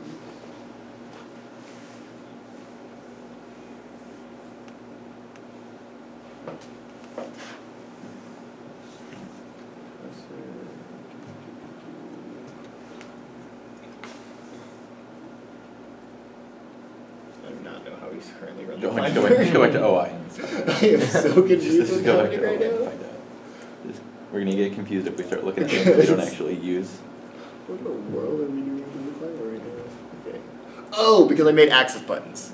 So manual climber's gone. Yeah, and it is just set climber. Alright, so manual climb was how we used to do things before we wrote some new code. And the, and the way way manual climb used to work is both drivers, both the operator and the driver could climb, but then we realized that that was just silly, and we Yes. gave it to just the operator. Correct. I like it was basically like the redundancy of oh god, like the operator controller came unplugged and we still need to climb in a match, but when would that happen? Um, Or, or- or I think I think I just gave it to both of them because I figured why not just give it to both of them. yeah, no, I mean I'm pretty sure I'd said to do it on both. We weren't sure who was gonna climb. I think that was part of it. Okay. Yeah, because with, with a lot of it, like you don't really figure out how a lot of it gets split up until you're actually on the field, and you have to figure out what's too much for one person to handle and That's what. what it makes sense for them to be what we want doing. events. Okay, right. So, okay, so set climber basically, the way it works now is you give it a speed. It starts the climbing and it starts the climber at that speed, like it's normally something low. And then in execute, as soon as the current is greater than 40, that's combined current across all four motors. Which isn't a whole lot, that's ten. Yeah. That's average of It's ten not a across whole each lot. of them. It's pretty fast, but basically it means I'm spinning slowly, and then as soon as I need to actually start picking up the robot, I go to one and I jump up the robot. Ah, Um, so that's how it does its auto climb. It's really basic. It is not complicated at all. It just, it literally just is like, hey, is there, is my, are my motors actually drawing current? Yes. Now I need to climb. Um, Because it doesn't make a whole lot to just spin the thing without Uh, any load attached to it. right. It's very, yeah. We we checked that number at some point, um, and it was small enough. And then end sets the climber directly to zero, So as soon as you're not setting climber, right, as soon as, as soon as the operator lets go, um, it goes to zero. And it turns the compressor back It turns the compressor back on, which is very important, and, uh, very important, so that Because we don't wanna be running four seven seven five pros at full blast and a compressor. And because also our just- battery would not be. It happy. makes it so, yeah, we climb a little bit faster having the compressor off, um, during the climb. That's more. If we were, if we were really, really trying to do it well, we'd turn off the headlights too, but that's a little. Um, yeah, I don't think that matters. That, that like half an amp, I don't know, Alan. I don't know. if that. Get extra Um, boost.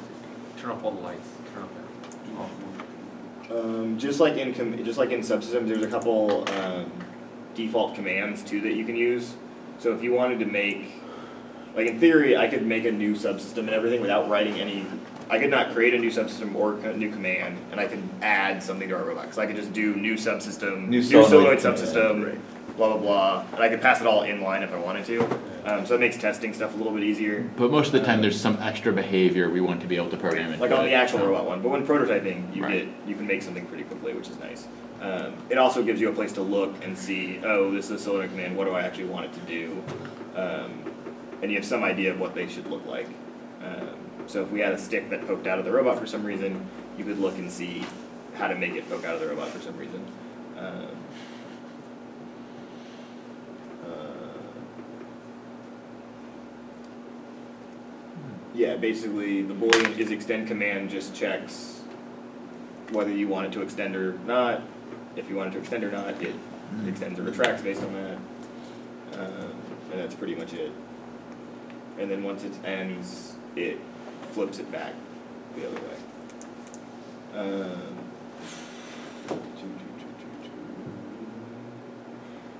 um, auto step, where's one of the ones that's on the backpack? Uh, like score. No. Nope, that's nothing, so I got rid of that. Um, what? Where is? Uh, we have them in different, I forgot there's other folders. There's a gear folder. Okay, so all the gear stuff is in here. Um, so score gear backpack is a pretty easy command too.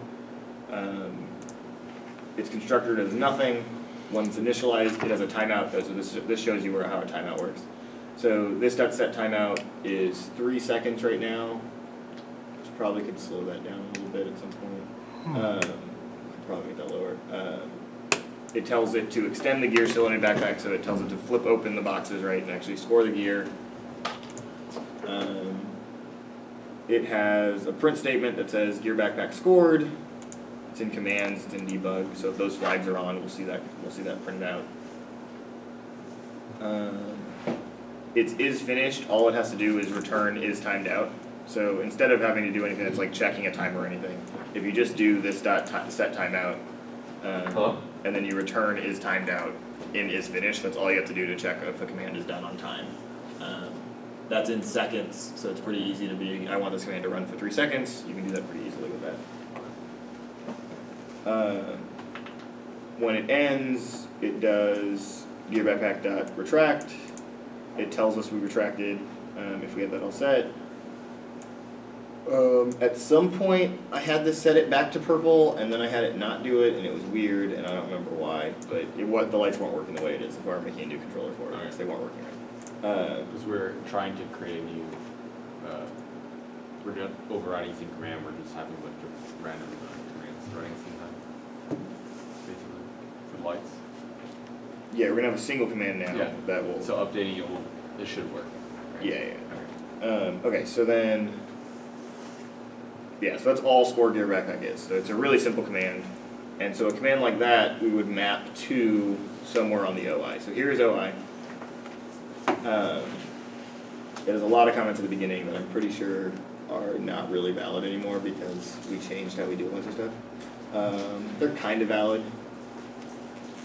So it tells you the difference between like when pressed, while held, when released, and toggle when pressed. So when pressed just runs the command when it's actually pressed in. While held will continually run the command while it's held. Um, and then when released runs a command when you actually release the button, which I, as far as I know, I don't think we've ever actually used. Um, We tried to one time. we, time, yeah, it didn't work, right? We, we were doing well, something. just we were trying to coordinate with like the mechanism roller and it was really. Yeah, yeah, it never, it never worked. Um, toggle when pressed does like it says, right? You press it once, it turns on. You press it again, it turns off. Um, so, let's see, what are we doing? So there's a couple places where we make the command up here for some reason, not entirely sure why, because you can also just do them in line. Um, so all these things over on the right are various commands that we run. So like zero gear arm current is a command that brings the gear arm up, waits for a certain amount of current, and then homes it based on that position. Uh, same with like gear ID pre-score, intake gear, all those things are commands that we have written out over here. To actually do the mapping, we've set it up a lot nicer than what the current default way to set it up is by WPI Which is, which, but, it's still like a little bit, I Just don't know what they were. it looks, basically before this year, your OI looks very similar to this. The way OI got sort of redone this year is very stupid. Yeah, we don't like it. I don't even want to go into it. We've, I don't sa- even we remember fixed how it. it works. Neither do I. We fixed it. It's now back to where it used to be, and everything is a single line for a single button. And it's nice again.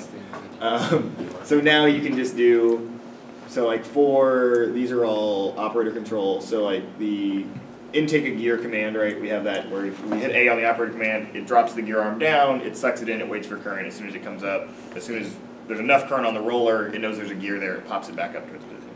Um, so we know all that works, and basically to make that happen, all you do is new spectrum button, hardware.operator gamepad, so we know which gamepad we're on, Xbox button dot A, so we know what button to do. Wait, are there no buttons for the driver?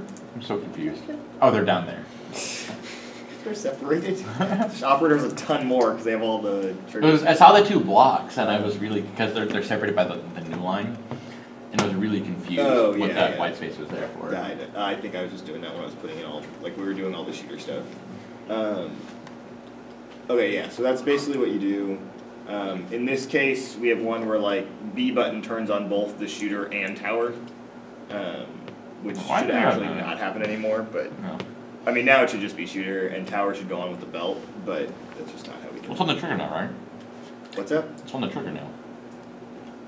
It's all on the trigger. Yeah, yeah, but we still have B. B's been there. Oh. You can still turn that on. Um, but yes, we moved everything to the trigger, so it was one button, so you didn't have to like press a million buttons to fireballs. Uh,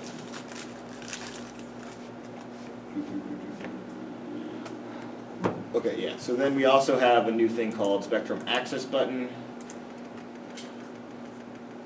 which lets us make any joystick axis into a button. So it can run a command based on certain threshold values you set on a joystick axis, which is most useful for the trigger. Um, so like the way the shooter works now is as soon as it's over um, 0.07, it turns the shooter on. So if you have just a little bit pressed, the shooter goes on. As soon And it turns on the intake. Yes, it also turns on the intake, which should be higher because it doesn't make sense. Okay. Um, so it turns the shooter and intake on, so we start spinning in balls in case there's balls below us that we need to spin in, and just kind of like agitating things. It turns the shooter on, or the actual wheel on. As soon as it's above Mm. 0.5, it turns the tower on. Um, and as soon as it's above 0.95, which is basically all the way in, it turns the belt on. Um,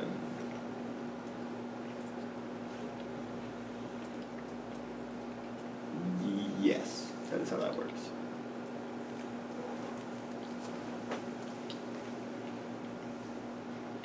Mm, yeah. Oh no, well, it runs fireballs, which fireballs is slightly more complicated than just turning the belt on. Because it does currently wait for shooter speed and vibrate the controller. And then load shooter.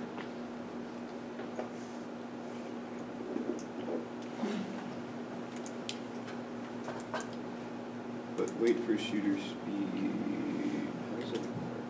It's finished time data on target. So that's where we use on target. Oh yeah, so we do use on target. And then we set the timer. Set timeout, row robot press, speed timeout. Oh, yeah, there we go. Yeah, so basically speed timeout is how long we wanna make sure to wait before we start firing balls, if you just pull the trigger, uh, without letting it actually get up to speed. Not shooting. Uh, I was like, why is there a fireball? oh, why is there a fireball? Yeah, I thought it was a fireball, and like. Yeah, fireballs, ball. you just fire a ball. I thought you meant like a fireball, like a ball on fire. That's how it works. Like, whoa, man. Very, It's really safe in the field. It's, a- it's our, it's our finishing move, clearly. um, the axis button has a little bit more complicated too. If you pass another command, or if you pass another value to it, it gives it a hard cap of things to not do. So here, um, you have your climb speed set to two. So if it's at 0.07 to 0.94, it starts at 0.2 and then it like does the current command. But if for some reason you needed to override, if you hold it full down, it'll just be at one, no matter what. Uh, which I mean probably also climbs at this point. Like, most of the time it works. It Yeah, I kind of forgot we had both of those. Do you do you press it all the way down or? Uh, only in like the really like desperate situations do I just gun it full. Okay, Like okay, okay. generally I ramp it until. Right. Like normally she does the creep and then it does it in its own, Right. and then she just lets go. Uh, but yeah, in theory you can just be like ah. I mean, there was that three second climb we tried to attempt. we did. We, we Which we were, which we were over So halfway up. We were so over half. close. we got the rope at two. Oh. Uh, another important detail. Not detail. even got the rope at two. We were like at the rope at two. Okay, another important detail that you might notice is if you look at the bottom right corner of the screen, you'll see ENG right next to the time. That's very important. That little button allows me to turn on my keyboard. Oh. This will all go away very shortly. What is this? Control shift changes between ENG US and ENG Dvorak, which you can't see on the bottom right now because it's cut It's off. cut But off. basically, there's a DV or a If you, US if you press below it, you it. see it. Oh. Oh, Yeah, there we go. Super annoying. It will go away as soon as it goes. No, keep it. It's the only test when you Because multiple times there's been like, uh, nothing's working. like, no, Alan, you're, I, you never took it out of Dvorak. Um, Because you just typed a random character across the screen. Did you change the uh, the keycaps on your key? What? Did you like? No, I, I touch type. Oh. Okay. So I don't care. um, oh. Yeah, yeah, yeah, okay, so the other ones we have, um, there's some random ones that I don't think we ever use but are there in case we need them. So like you could hit the Xbox start button to reverse the belt bed and the back button to load the shooter manually. Um, why, I don't know. I don't even know if we remember those exist. Initially, those were the only ways that we could. Correct, that was the only way And to we're load like, the what buttons do we have left? Was you, to start loading the shooter, you had to hit start, which is uh, not the most convenient thing. Um, And we have the POV buttons Yeah, so for then, so POV button is the um, D-pad. So randomly, either left or right turns on the aiming light, um, and up and down. Why is up while held and down toggle when pressed? Ah, that cannot that be right. right. What in the world are we doing? There's no way that's right. Those should definitely be toggle when pressed. We don't know. It should, it should it should be when pressed. Because you want Oh yeah, to. why would yeah, they should definitely be when pressed. Why in the world were these other things? If you can go ahead and change that now and then just push. Mm. Or that's oh that's the one over. That's so what's it's very that really matters anyways. Like it's very weird. Yeah, yeah. I just don't understand why that would happen. Yeah, that's just confusing. That's probably why those didn't work. Yeah, probably why that was never. Because those would just be strange. Because while held, that would be ramping speed like Wait, no, but does, does it even work that way? Does it call it every loop, or does it just not? Oh, because it would never release? finish, right? So, no, it immediately. No, it finishes- it would so it would call it every loop, because it finishes immediately. I'm pretty sure it finishes immediately. Let's find out. Okay. Does it finish immediately? I don't think I wrote it. It's Yes, finished finishes true. Yeah, so it would call it every loop. Um, which is not good. So it would ramp speed crazy fast, and down you would have to hit every. You'd have to hit twice every time to actually get it to. Oh no. Well, actually, I don't even know because it finishes itself, so I'm not actually sure. Um, that'd get weird. Uh, okay, then we have the same ones for the driver has his has their buttons in place. So yeah, you have things like score gear, LED score backpack is weird. I don't know why. What do you mean it's weird?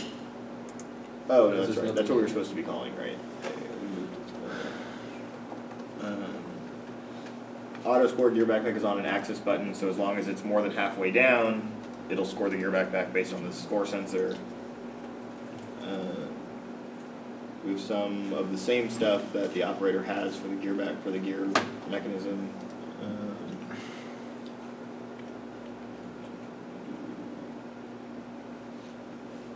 Yeah, basically. So that's all the OI. So all that is just commands that need to be run On based on. Based on certain conditions, and they just need to happen without knowing an actual like specific value. So your Uh, well, the, the trait, the axis is your specific value. well, they use specific value, but they don't need. They, no, they don't need to know the, Oh, the, the okay. command doesn't need to know the axis value, Right. right? So like the drivetrain, where you're actually moving the drivetrain, doesn't get called an OI. Right. It has gets to be in its own teleop. command, and Teleop just calls that command over and over again. Or no, it, it calls it once and it exec, it just adds it to the sequencer. Well, yeah. And execute just runs. Right. So it just needs to be running in Teleop all the time, right? So we tell it at the beginning of Teleop, we tell it Arcade drive dot start, flap control dot start, headlights on dot start, and manual intake dot start. flap control should really get moved to axis buttons, but it's not. But it should be. It should. Yeah. It yeah. definitely should be. Like we didn't have them when we wrote it, but it should be because we made Oh, axis. Yeah, We made axis buttons later. Axis button is way better. Axis button is infinitely better. We were way way smarter once we figured out we could do that. um, like it's not the most simple thing to do, but it makes a lot more sense. Um, I think it all moves on. Yeah, we should actually publish that because that's actually super useful. I don't think anyone else has that yet. I've never seen anybody else do it yet. Um, Oh, the, the axis button? the axis button and POV buttons are both really, really convenient. Uh, Yeah, you can press on here. compared to what we were doing, like, because basically what we had to do before, we can look at what flap control does. So flap control is a command that basically had to hardwire that same stuff into there to control the flaps. So it's all on the left stick of the operator. If it's less than 0.5 um, absolute value, right? So if it's anywhere between negative 0.5 and 0.5, make sure they're both up, which is extend for the gear and retract for the ball. And then other way around. Extend for the ball retract. Oh yeah, you're right. Okay. And then basically, if it's greater than zero, but not, but also not less, Less than than- maybe yeah. 0.5, right? It does one thing. If it's the other, it does the other thing. So, right? So we had to hard code that in this random command instead of having it nicely in here with OI like you could. Right. Um, Well, but then you need you need three commands, one for each of the three states.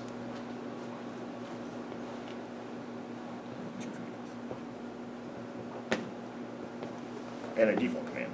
Yes. That's how it should be. But this, this way it's one command. No. but it's not how it should be. Because you know it's really hard telling it to like extend the flap randomly in like auto if I wanted to. What did I have to do? I don't remember what I had to do. Did I just like manually do it, or do we have extend flap already? No, I, I, I made I, I made them in auto. They're in auto. Yeah, we made flap controls, right? Yeah. you go into commands auto. Yeah, lower ball flat. Yeah, that's dumb. Right? Like that should have already existed. Okay. okay. Right, like that clearly for a subsystem, it should have had a lower ball flap, lower gear flap, and the default of close everything, and then you just make the default that, and you have two that do it. That's how it should have been done. That's not how it currently is, um, and we should probably fix it. It doesn't really matter. They, both functions work. One is just takes longer, um, and makes it so you don't have it ready when you need to do it in auto and everything else. Um, where was I? I was in Teleop. Oh, uh, and then arcade drive is probably the next one to look at. that we should not look at arcade drive. Wait, why not? Because we're not looking at drive. Drive's gross. Well, they wanted to pull, pull Spectrum default. I cleaned up in Spectrum default Uh, on this computer, That's true. Uh, all the way down. It should be all the way down.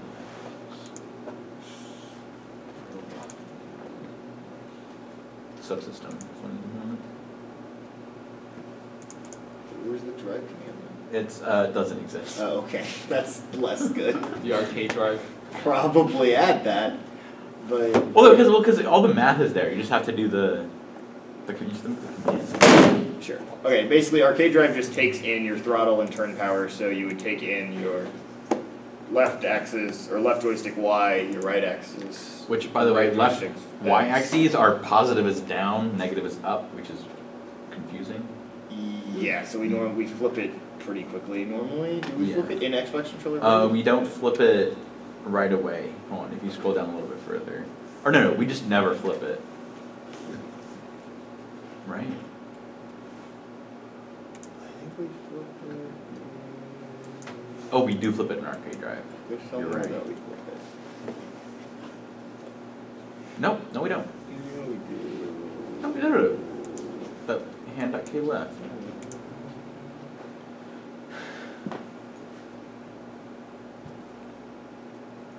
Hmm, Maybe we don't. Did they get rid of it? Did they flip it? No, there's no way. Because I remember having to. I remember it being a thing. Sure. Yeah. Or does it just? I think it just gets handled by all the arcade drive math. I'm pretty certain. Like if you go a bit further down.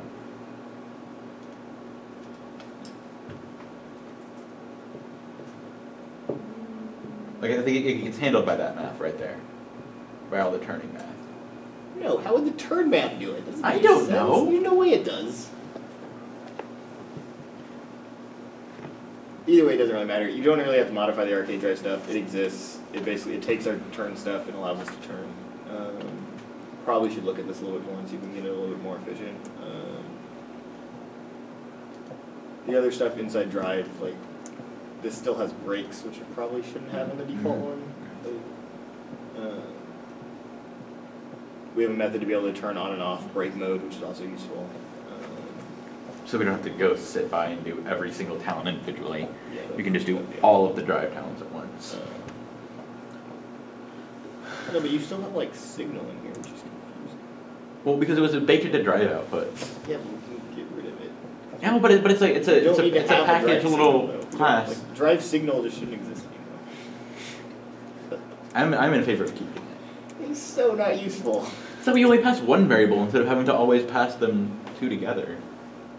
It keeps them next to each other. No, drive signal, you have to make a new drive signal every time. Yeah. It's not useful. We're making a whole class that does nothing except pass new values. That's definitely a thing. It's not useful.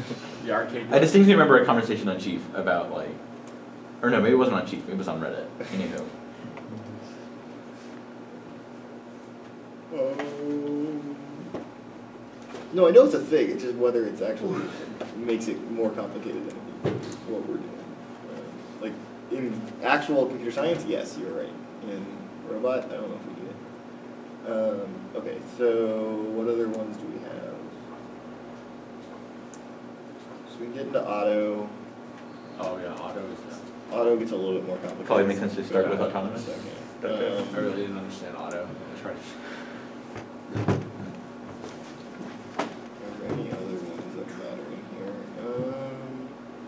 Most of them you can literally just look at and see how they work. They're pretty simple. So like aiming light, you literally turn the aiming light on. Oh, you do tell it the aiming light's on. do you want to go over the shooter stuff because we haven't looked at like actual commands with PID stuff.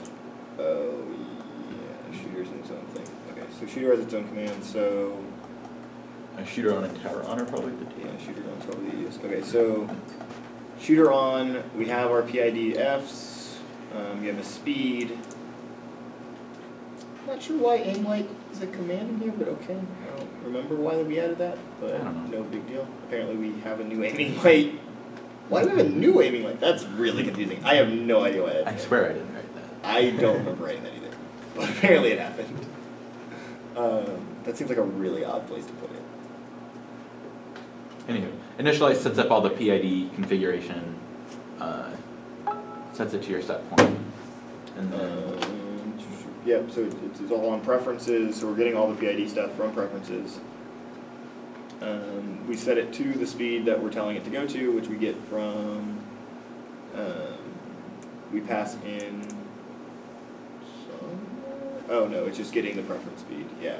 Um, wait, what? No, wait, where? yeah, it's getting speed from Oh, there we go. Yeah, so it's just getting the set wheel speed from preferences. Again, all this happens in initialize and not in the constructor, so there's no, there's nothing in the command constructor at all. Um, so every time we run it, it's updating all of this. Um, It does mean though that you can't have, the shooter, if the shooter wheel is spinning, if you start updating values, it's not gonna change it. You do have to release the trigger and then flip it back. Um, yeah, and then we were looking at a way to fix that at some point, and I don't think. I don't- That's like, that's like minimally, Yeah, but no, we wanted to be able to, we need to be able to fix it when we need to do teleop when we're adjusting. but I thought adjustment already, But it doesn't I thought adjustment already just, just set it. Oh, yeah, adjustment does happen. That's right, because it's inside set. Yeah, cause adjust- adjustment just calls set. Yep, yep, yep. That's why we did it that way, was so it works in the, so the subsystem handles adjustment, the command doesn't have to. Because in here, it starts adding speed adjustment, so as long as we have a speed adjustment there, it works on set without having to worry about this getting called again. Um, um, what do we do? So we stop the compressor when the shooter's running, so that we don't have that messing with our balls, basically. Um, it doesn't let it. Uh, we don't get we get reduce that variability. Um, oh, it does. Yeah, it turns the aiming light on whenever the shooter's on. Guess that's why it's there. That makes some sense.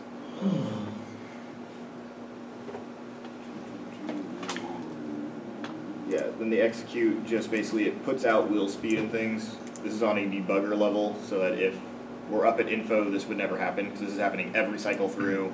It's telling us what the wheel speed is. Um, No, no, if you're on info, you would get this. no, it's on debug. Oh, sorry. Yeah, so Yeah, if you're on info, you wouldn't because you only It goes you, up. you go down, right? So you have to be on debug to get this. Um,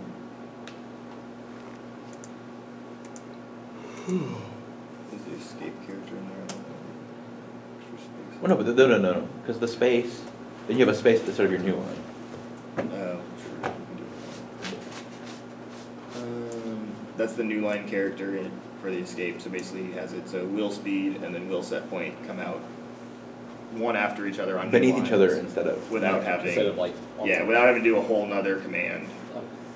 You can just do slash n and escape down and do the carriage return. Um, um, it never finishes by itself.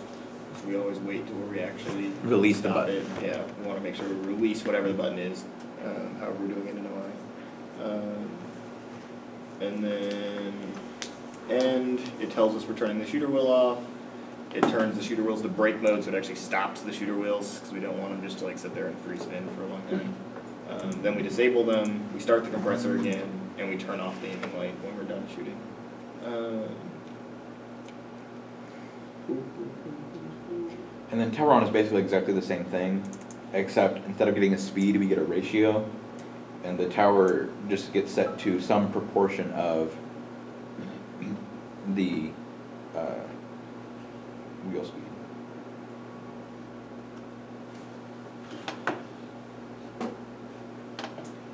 That's interesting. So the tower wouldn't adjust though. Probably doesn't matter. What? The tower wouldn't adjust live like the shooter does. It doesn't adjust live. Oh, no, it doesn't. Yeah, because it couldn't. There's no good reason for it to want to do that. Um,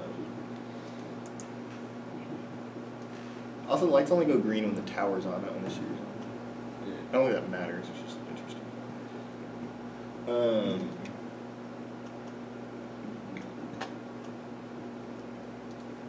um,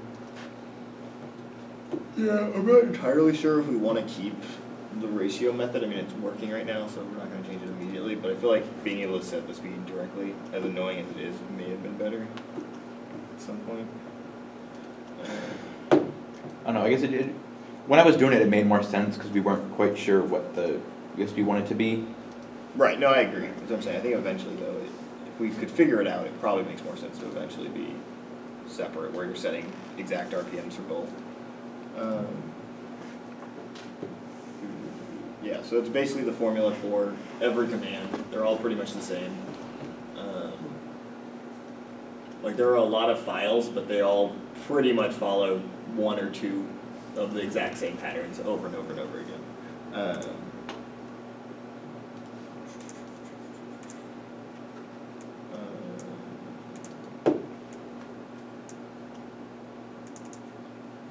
um for autonomous, things are actually somewhat easier because we we know everything, right? We can ignore everything that the two gamepads are doing, so we know what's happening. Um, most of the time. Um, the actual autonomous um, class itself, all it does is set up what we're going to call. So, um, still have that. I don't know why, because we don't use that anymore, but it exists. Um, that was when we were gonna we were like using little we had the little radio boxes to be able to choose which autonomous mode to use. Um, but that That system was would super never, annoying. because it would just never work the way it was supposed to, like intended. It would just not work. So we So the, why, why are there no yellow squiggly lines under So how do we Autocon? choose autonomous? where they know what? Why are there no squiggly lines under Autocon Chooser? Because it, because if it, there'd be, it would give it the yellow squiggly lines. Oh, I mean, not it, doing it oh, it's definitely exists somewhere. I just don't know. We apparently still push it out here in a minute. No.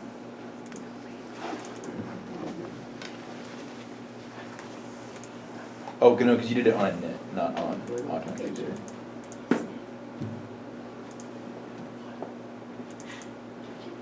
I have no. I am so okay. Yeah, I can just go away. Yeah, I don't know. I feel like it's gonna break something somewhere though. No red boxes. No red boxes. That's confusing. Anywho, Whatever, apparently it doesn't need to be there. Um, was old code that we didn't need. But yeah, back to this. So basically, auto name and auto number are how we match up which autonomous we're actually running. So like determining whether we're running side gear or determining whether we're gonna run hopper auto. Um, you basically, we set auto number to be a certain thing. Um, in this case, I'm just initializing stuff in case for some reason preferences all die and nothing works. Um, it runs center gear backpack as its default right now, which is probably not the best idea, but if for some reason everything fails, it'll try to run out and It'll hit cross the center line. Um, yeah, it'll cross the line. It'll probably it might throw a gear. Uh, right now it wouldn't throw a gear because it would wait for the gear backpack to be hit, but before it would throw a gear. And then, Um, sad Um, yeah, and I haven't finished drive false, so it would just it would time out on its drive forward. It would cross the line and do nothing else if for some reason everything failed. Uh, okay, so that's those are just the variables initialization. Um, okay. Uh, I was just confused. Something? Um, okay, so the start of autonomous init we reset the NavX and tell it it's yaw is zero, so right at the beginning before we do anything else. Um, we then run select auto, which is how which is the thing that actually calls and get and chooses which auto to run. We'll go into in just a second. Um, if the boolean for smart dashboard enabled is true on the smart dashboard, it'll actually run the auto command now and actually do what it's supposed to do.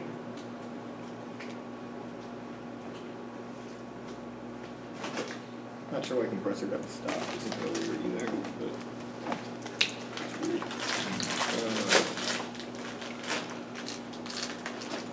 Same with headlights off. Those should slightly earlier. They don't really matter. It all happens fast enough to where it doesn't matter, but doing it beforehand is slightly better.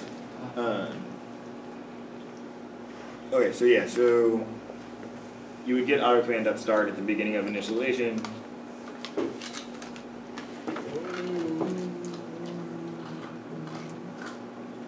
So that should be finished actually. Okay. Um, so as soon as the auto command dot start happened, it would print that, and then it would be done with initialization. It would go into execute, or go into periodic. Periodic just does get instance dot run. Um, this is the thing that actually runs commands. So we didn't talk about this in teleop yet either. But if for some reason this scheduler.getinstance.run isn't running, no commands will actually work, right? You can tell the command to start, but nothing actually happens without scheduler.getinstance.run. Um, And that would be an in Auton and in teleop, right? Scheduler dot init. Uh, and disabled. Oh, It's okay. in every periodic, yeah. Um, because there are some commands we're running in disabled too. Um, So like we had the command where like the, we could like move the gear trigger and like have the aiming light turn on. And and in stuff. theory, your That LED in. should also be running Yeah, and right, disabled. flashing. Yeah, everything can be running in disabled. Uh, dashboard update dashboard is just putting out the dashboard stuff still, even in autonomous. Um.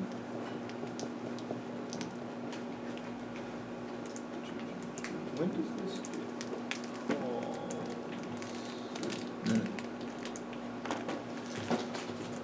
Never.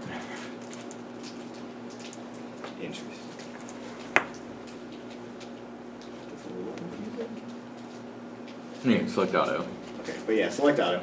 So, um, this is just a giant switch statement for which autonomous command we want to run um, at the beginning. So, we have a get number 1A dash auto number, so it's the very top thing on our preferences list. If we change this number, we choose which auto to go to. Um, and then Switch it case. puts the um, auto name out as well somewhere. What hasn't said is a set the auto name. Yeah, where do we define? In somewhere, auto name is supposed to go out to. Oh, it goes out to dashboard. That's right. In in update dashboard, auto name happens. So as soon as you set auto name here, update dashboard gets it from autonomous.autoname um, and puts it in a box. So then you can see which autonomous we're going to run.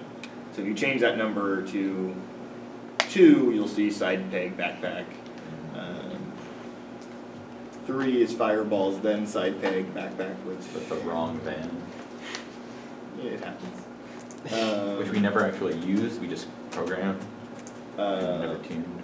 No, yeah, we never tuned it. But ideally, in theory, we should have the ten ball plus go into the side gear, but we never made it work. Um, six is hopper, so we have, and that's the one we actually run. So right now, we basically just run one, two, and six. Um, Five used to be the bee's knees. Or no, sorry, four, four was the bee's Four knees. was our original one before we had the backpack. Five, ideally, we never have to run, but we never.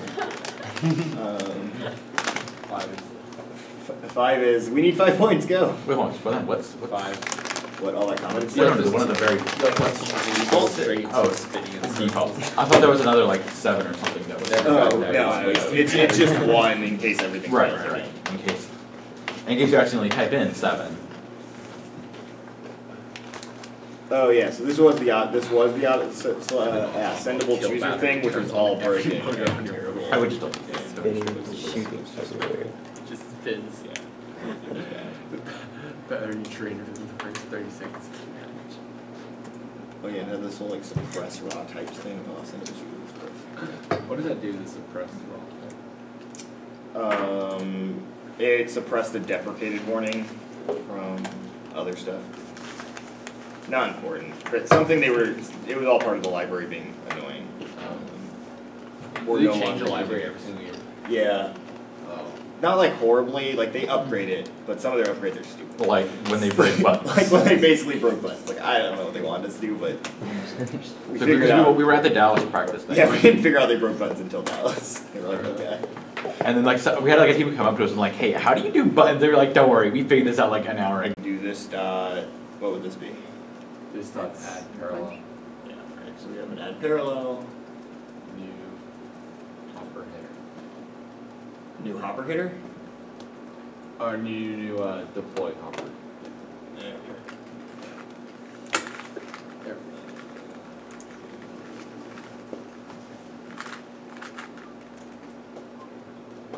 Um, oh, it doesn't have it yet, so I have to type the whole thing. So, Did we save on deploy hopper header um, or else? I think so, but. So, It's still mad, but it should just do everything for it. Now it's happy. So now it has a new deploy operator, and it'll cancel at the end of auto anyway because that command will cancel. So we don't need to have a we don't need to force an undeploy here, but we could. Um, but it should cancel at the end of auto no matter what, because all the commands cancel at the end of auto. Um,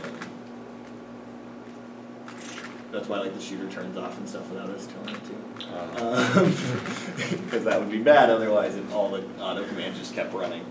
Um, that would make for a much less happy robot. Um, yeah, so that's literally what we would have to do for adding a whole tiny subsystem to the robot. That should be everything there's no like, we don't have any commands, we don't have any dashboard commands for it or anything. We didn't put any debug statements in it, um, so those things should probably happen. Um, which you can do pretty easily. So like inside the um, the subsystem is probably the best place actually for it. So it would be in here. So like at deploy, you would have um, debugger dot. Ooh, actually, the best way to do it is to build your own little class for it. Um,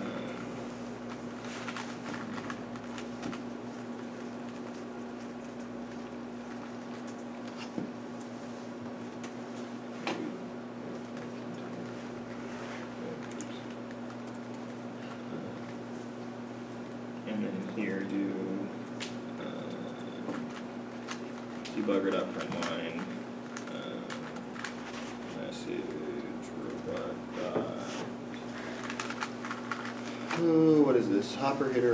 probably goes in output. Comma. uh, Debugger dot. Info. Um, um, it might actually be, it might actually be retract prob, it might actually be debug probably. And then in here, you would just do debug hopper hitter deployed. Uh, Debug hopper hitter retracted. So then, whenever those methods are called, we would get a little print statement. If we were on debug and output were on, we would see that those outputs happened. Uh,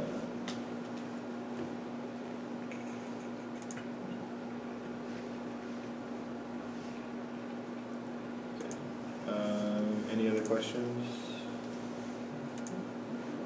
Um, Basically, it keeps, you get a lot of files and you build up a lot, largely, that's a lot easier than the scariest thing is if you walk up to anybody's robot code and they just have one giant file. It's the worst. You're just, you're just sad and You just it walk takes away, forever. just walk away. Yeah, it takes forever to do anything. Okay, so the folders we haven't looked at at all are utilities and drivers. Um, utilities is where the actual debug class is. Um, it also has the logger. It has some other stuff that we use. It has some random stuff from the poofs that we get rid of. Um, our drivers class is where we put all of our stuff for like Spectrum button, um, a bunch of Spectrum stuff that we have thrown in that we wrote. Um, there's some basic stuff like Spectrum Digital Relay It's how we like did the flashlight. So it tells you like how to turn on and off a flashlight on a input, and you can make them it's also where we do stuff for different sensors. Our gamepad class is in here. Um, so this is how we map everything to the Xbox controller. Don't we now just oh, use no, Xbox we don't use now? gamepad anymore. Never mind. What? Yeah, we just use Xbox controller. Cause Yeah, because they WPI wrote, they, yeah, so Gamepad used to exist because WPILib didn't have an Xbox controller class at all, so you still just like had joysticks, and it was thinking they were joysticks, and we had to remap everything. But now Xbox controller is better, so like this should all actually go away basically. Um,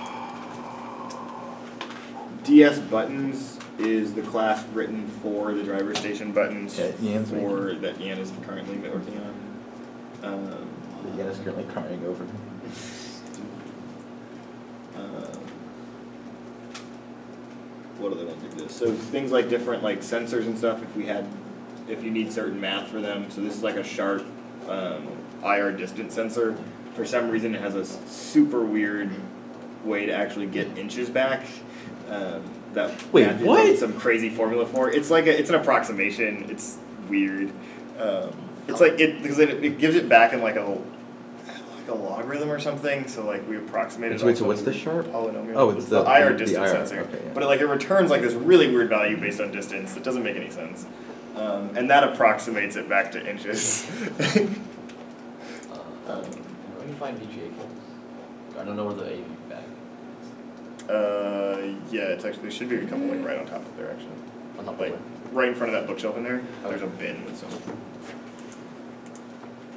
Um, yeah, I don't remember why. We figured it out like in 2012 for a long time ago, and we just held it over till now.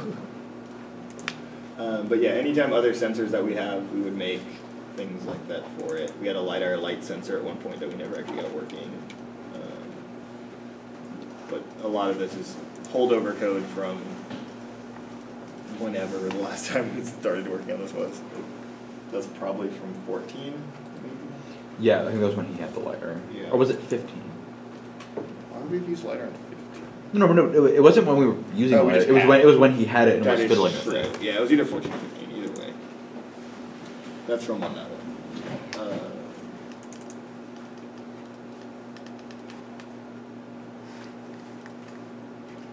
Spectrum button's so much better. Why do they not do this?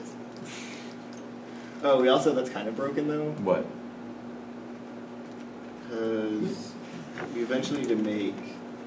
I mean, for us it's fine because we just only use Xbox controllers. But if you wanted to use a joystick, they're all broken. I mean, I feel like I feel like you'd have to make new ones. right, but the framework is there and it's Yeah, fine and yeah, it tells you how to do it. This is true because you can't use joysticks with these currently because they only work with Xbox controllers, or they'd just be super awkward. That's the button. Because none of the axes would line up. Yeah, nothing will Um, okay. Any other questions?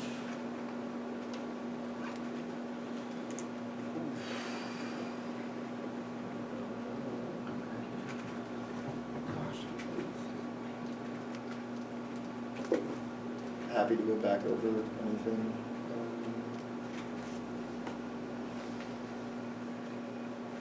No questions. That's how it always- No concerns. Um, no, I didn't understand any of this, Alan. Can you please go over it all again? I'll run into a problem later.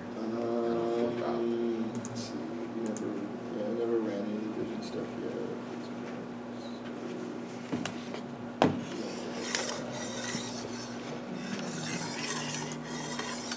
Does the Spectrum default by default have the uh, smart dashboard? Yeah. Yeah. Okay. Um,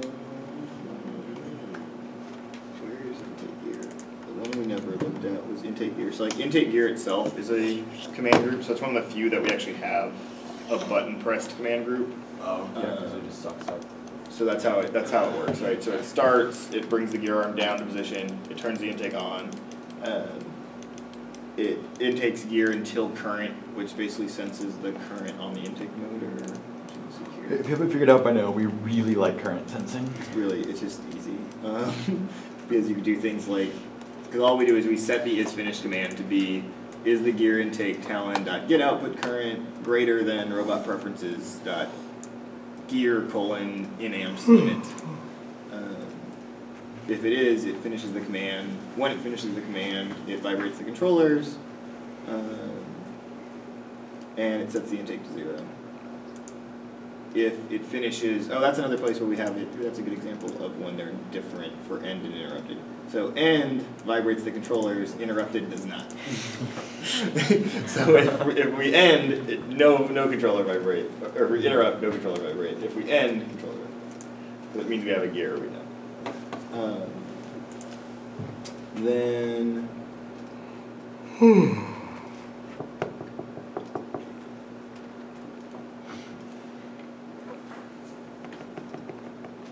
Wait, what?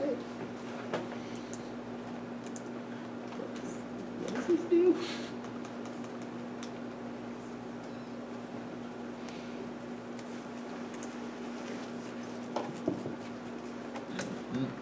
Oh, it just holds on to it for Oh, a second. Yeah, I forgot about that. So it, it's, it goes to zero, and then as it's coming up,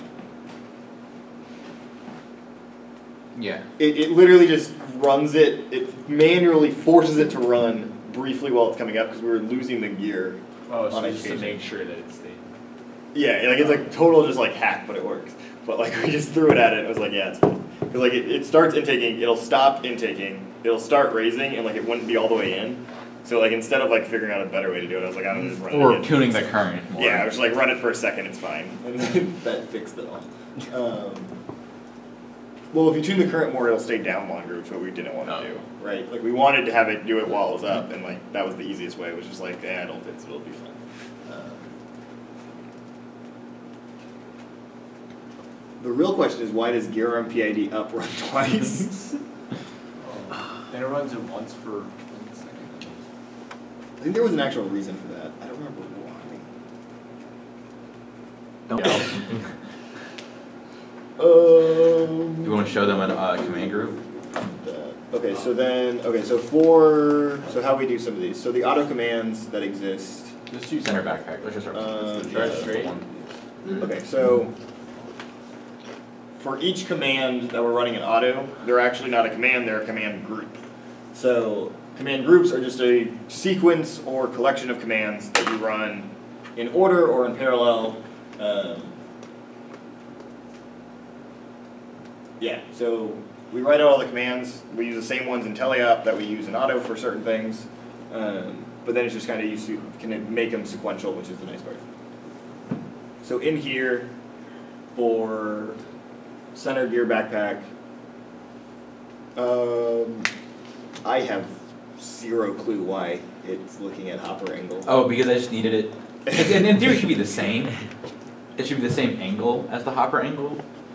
Because it's, it's that right Oh, I got you. It's the okay, yeah. turn. So I yeah, could be bothered yeah. to change it to anything else. Okay. It's like, alright, I'm just gonna steal what I know a right turn is. So this is for the is finished. So as we're coming back from the gear backpack, we turn ideally 90 degrees and then drive off to be able to go to the center field, even out of the center. We never got to test it IRI. Theory it works. Um, who knows? Um, but it was so after we hung the center gear, we could still clear to the midfield. Um, okay, right. So the way gear back they, they normally work, super does super need to get called every time? I don't think it actually matters, but probably it's fine I to mean, do you it. might, you might as well. Yeah, it doesn't doesn't hurt. Um, yeah, so this is just basically figuring out which angle we're turning or which direction we're turning, left or right. So what angle to set it to. Um, and then for your command groups, the way they work is you do um, add parallel. The hopefully you covered this in computer science, but if not, the only reason we have this there is so that we don't have to remember to type add parallel. You can just do this and hit enter, because typing this dot is way faster than remembering what you're supposed to actually type. Um, so it's just a method from And it says pull up all actual of my class. methods that I yeah that are have in this class. myself. Um, and since this extends command group, it has all the command group methods.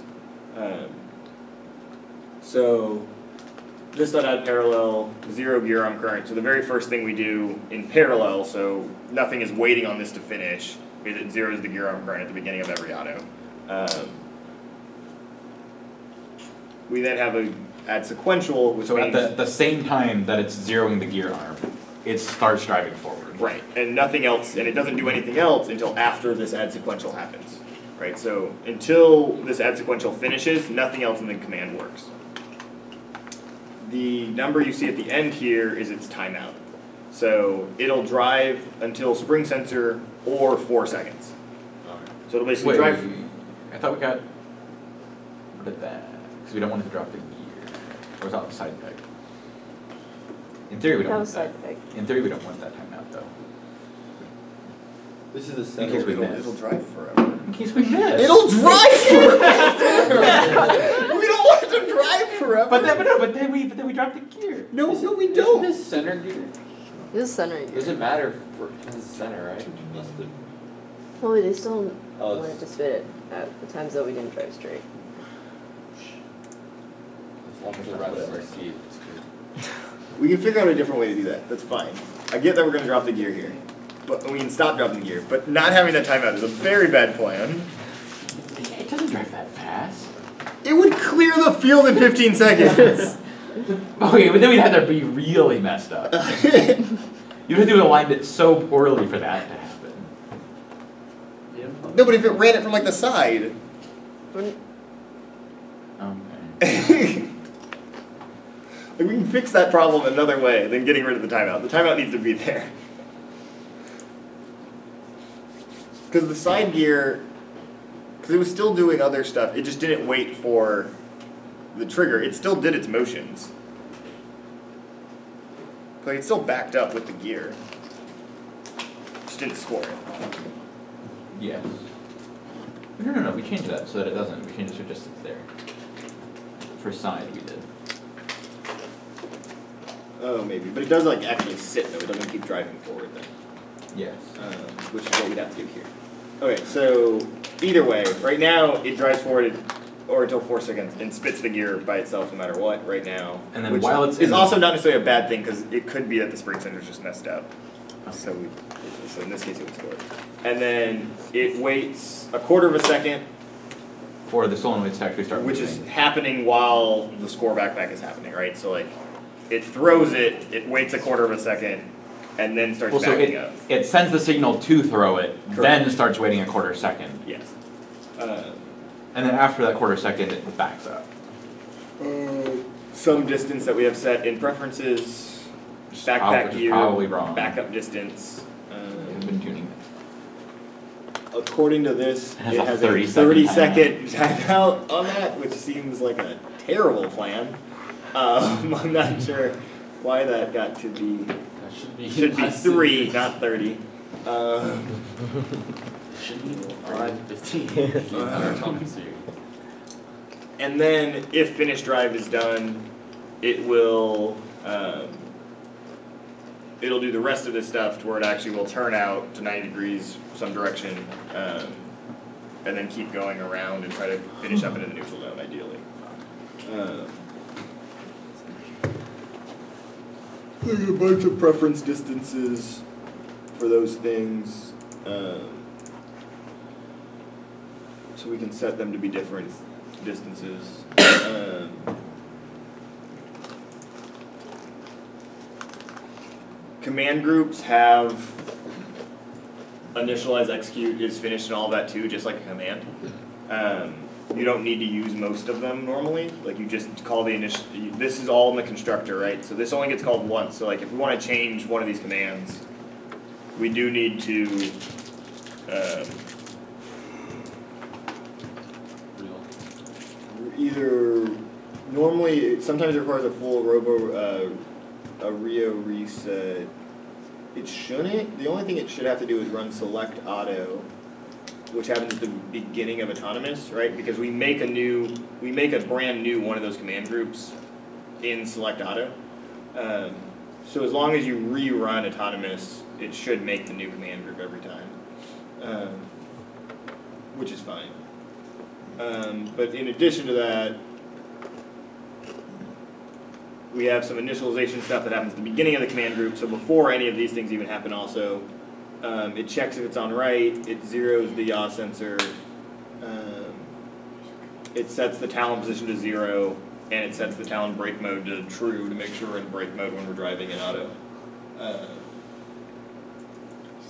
and that's pretty much how that works for all of our autonomous commands. Um, they're all roughly the same thing. How does drive distance work? Uh, we'll get to that in just a second. Um, okay, so then like so Hopper Auto is basically the same thing. We have a sequential command that does drive distance. We do add parallels at the same time. Oh no, so actually I moved that to after we start driving because for some reason it was taking a second to do these even though it shouldn't. Um, it does zero gear arm corn and lower ball flap Just before it just begins. before we start turning. So that's why, like, if you see it in auto, we'll back up, we'll start turning, and you'll see the flaps go down. Um, it does the in-place turn. It drives into a wall. Um, the way we do hopper auto, I feel But I feel uh, the way we do hopper auto this year is it's doing it on current sensing on the drivetrain. So if as we drive into the hopper, it drives until we think we're moving the field, right? Like it's like, oh, we clearly ran into something, we should stop. Um, and then it turns the shooter on. It waits half a second. It turns slightly off to get us to the right angle to make the hopper. Um, and then it starts firing balls pretty quickly. Um, I think immediately, yeah. So it has half a second, then it starts firing balls. Um, and then it waits seven seconds and it flaps the balls and it raises the ball flap right at the end of auto to try to get in the last like two or three shots. Um, we played around with that a lot and we had a lot of random ball flapping that uh, failed horribly. Uh, that can all be deleted now. I think it's the M. Uh, not Ooh. too much. Uh,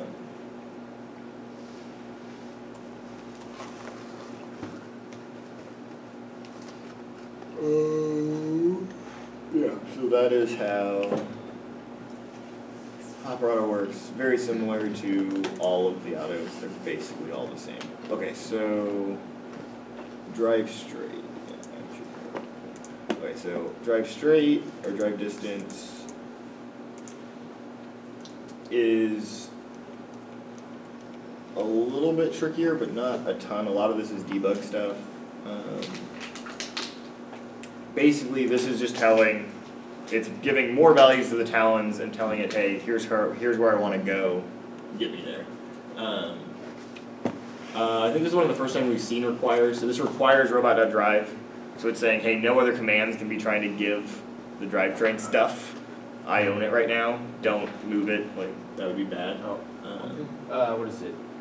So, the wheel diameter up there says four point two, and but when it says, when you get the pref doc get number of wheel diameter, it's four point zero six two five. Yeah, yeah, so the one at the top is just in case for some reason we'd stopped initializing it anywhere else, right? So that was the first time I ever touched it. Okay. You just give it some value so that in case it's completely broken, it, you don't get a null pointer. Yeah. Um, we come down again and we do it, that get number wheel diameter here, right? And then that comma, even this one, is still just its default value Okay. in case there's nothing in the preferences table, what this actually returns is whatever's in the preference table. Yeah. I believe it's actually this still, Mhm. but, Alright. so we did set it to the default in case we lose the preferences table at some point. Uh, Well, because we were doing it on the practice robot. yeah, Oh, were we? no, we're doing the real one. No, okay. Uh, This is before IR. Yes. Okay, so drive distance just basically it gets both of the left and right talons. Um, it figures out how long the timeout is for it, um, and it requires robot drive. And then in initialize, it what does it do?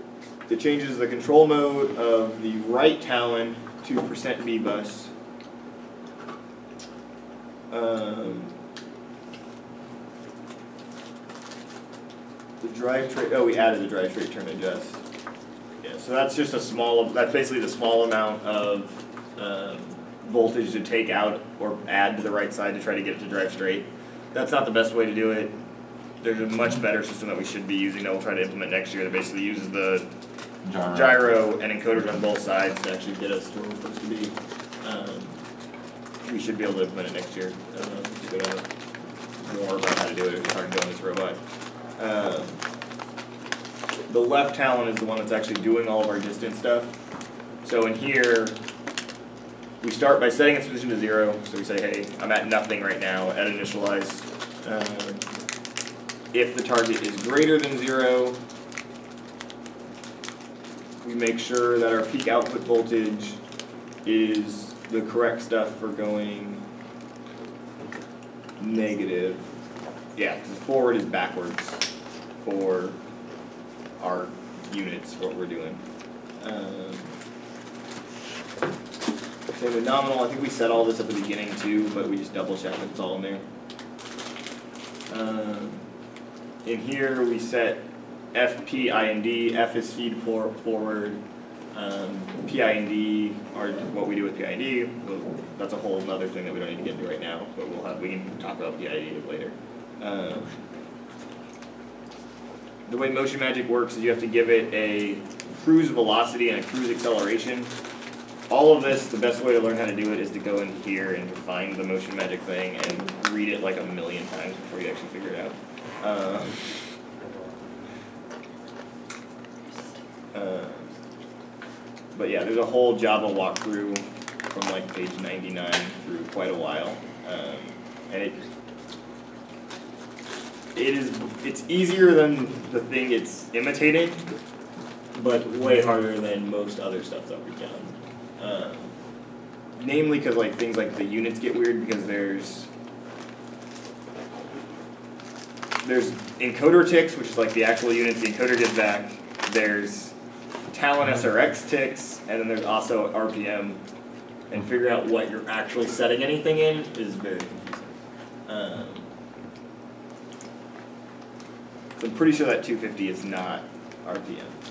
Uh, it's like some weird tick number, I believe. So I have to do like the math to get it back to RPM.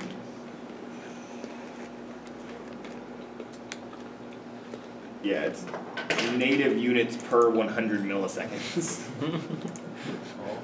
Which, again, it's not really, it's not complicated, right? Like, it's just basic unit conversion. It's just annoying. Like, so you have to go from like, if you want it to be 600, 600 rotations per minute, you then have to do it to seconds, and then seconds to uh, 100 milliseconds times native units per rotation, and you figure all that out. You eventually get to some number.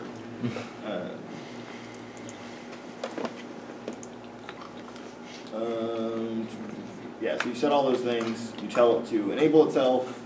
You change it to motion magic, and then you set the target. You basically just set its set point. Uh, and I apparently tell it to print the distance target just directly without using debugger for some reason. I'm not sure why I did that like that.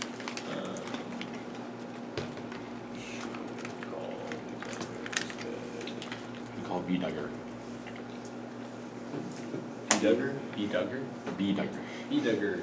Um, Crazy about we set up the timeout, so in case we don't ever reach the setup, the set point, we have the timeout there.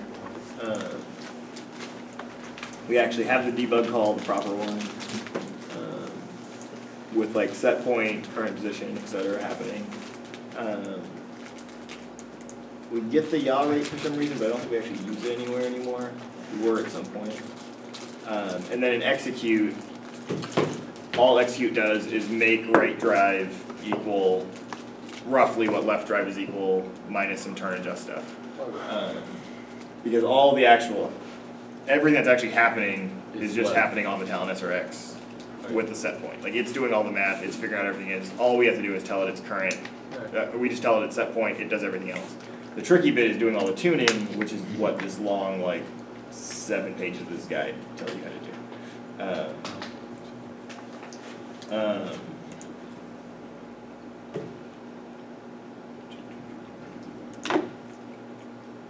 um, um, is finished. It checks if it's on. If it checks how low its error is, or if it's timed out. Um, we again write our own get error method because the one from the Talon is super weird and it gives it to you in like whatever native units are, and I never know what native units are. Um, then we also have a get inch error, which tells you the error in inches because it does math times this, or it, it multiplies the error by the circumference of the wheel. Because the error here Rotation. is in rotations, yeah. Um,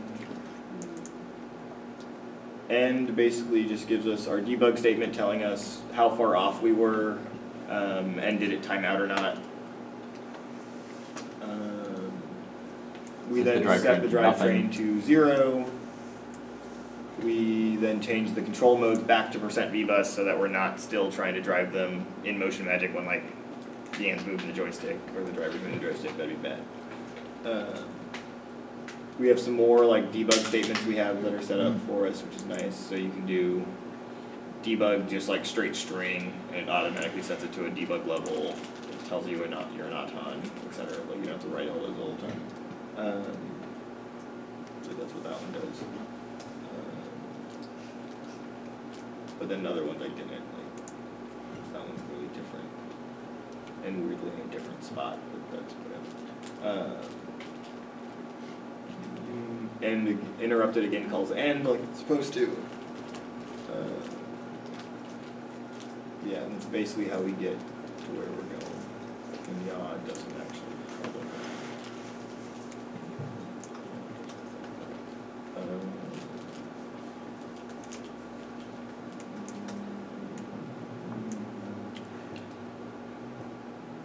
we had a robot.constants. Yeah, we used to. How long ago was that? No, we still do. Apparently. Wait, where? It's not in. I have no idea what this even is. Where is this? Oh, it's still here. Do we call it anywhere else? No, I think this is clearly from Cheesy Poof Code. It's definitely Cheesy Poof Code. Because it has peacocks in it. Peacocks. Yeah. What's the peacock? 2015 can grabber? Oh. I don't know why this is still in our code. I have no idea. It's super old. I think I got rid of it when I did Spectrum Default. I know. What? Oh, I think it's still used somewhere in Drive, which is why we don't delete it. Is it? Yeah. There's some part of the Drive code that still Ugh. exists that we'd have to delete other parts of, but I don't feel like. Um, which again, why Drive's really gross and we're not. Uh,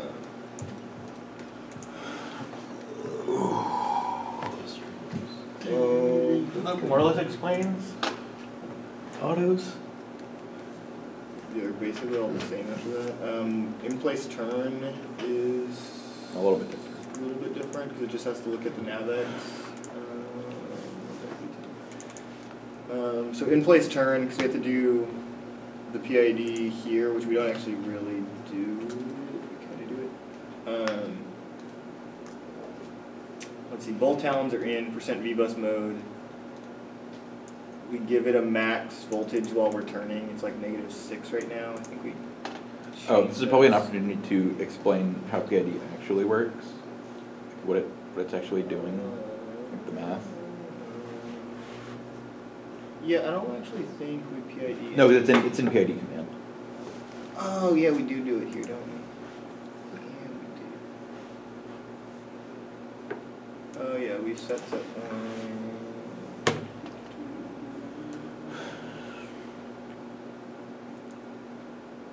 Yeah, we do. Um,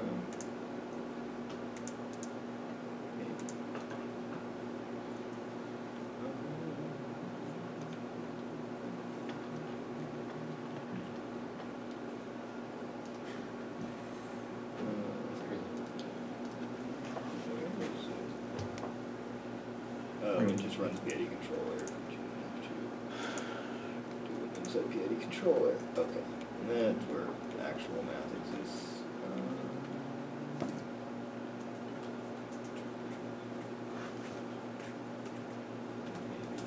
And I can just put up, I can also just put it on the whiteboard. or something, No, too. I know, I'm just wondering where to see it in here if we can. Okay, so, oh yeah, it's kind of ugly here though. So what does it do? It checks its maximum gain. Can we just write down the simplified? Yeah, you wanna just go right to simplified version? The board. Oh. Yeah, 'cause this is ugly. Um, This, this does a lot of checks that are m- more useful, but PID controller. trickier to know. Oh, you're gonna, It's a very basic equation of PID, that's what we're, what we're actually looking at. Equals, so you start with KP, which is your proportional, uh, times E, which will be our error, Yeah. plus KI, which gets used far less often, uh, times the integral of error. So basically just the error summed up over the course of your PID command, over the course of your control loop. Usually minus KD times the differential of error, which if you're doing a, a position control loop, this derivative is just your velocity. And if you're doing velocity, this derivative is your acceleration, right? So all, of so KP, KI, KD, these are all just constants that you set, and the, the other three terms, right? So this is, this is a constant, this is a constant, this is a constant, and this is a variable, this is a variable, and this is a variable. So you set these three constants, No, and they do there's no all. point having that. So the way this output actually gets used though, is depends a little bit on your individual system. So the way we use it is this is negative, this is negative one to one. So you, you scale all these, all these constants, so the output that you get at the end is between negative one and one. And then when you actually want to use it, you, we multiply that by our, I think, I think we call it the nominal voltage. So the, the maximum voltage we wanna allow it to give to the motors, and that will scale it from, you know, if we want our maximum voltage to be eight, we scale it from negative eight to eight. Um, but depending on your system, this can be minus ten twenty-three to positive ten twenty-three, this can be any number of things. Uh, Yeah, and basically you never use I. Yeah. Largely, This just never use I. This is wizardry.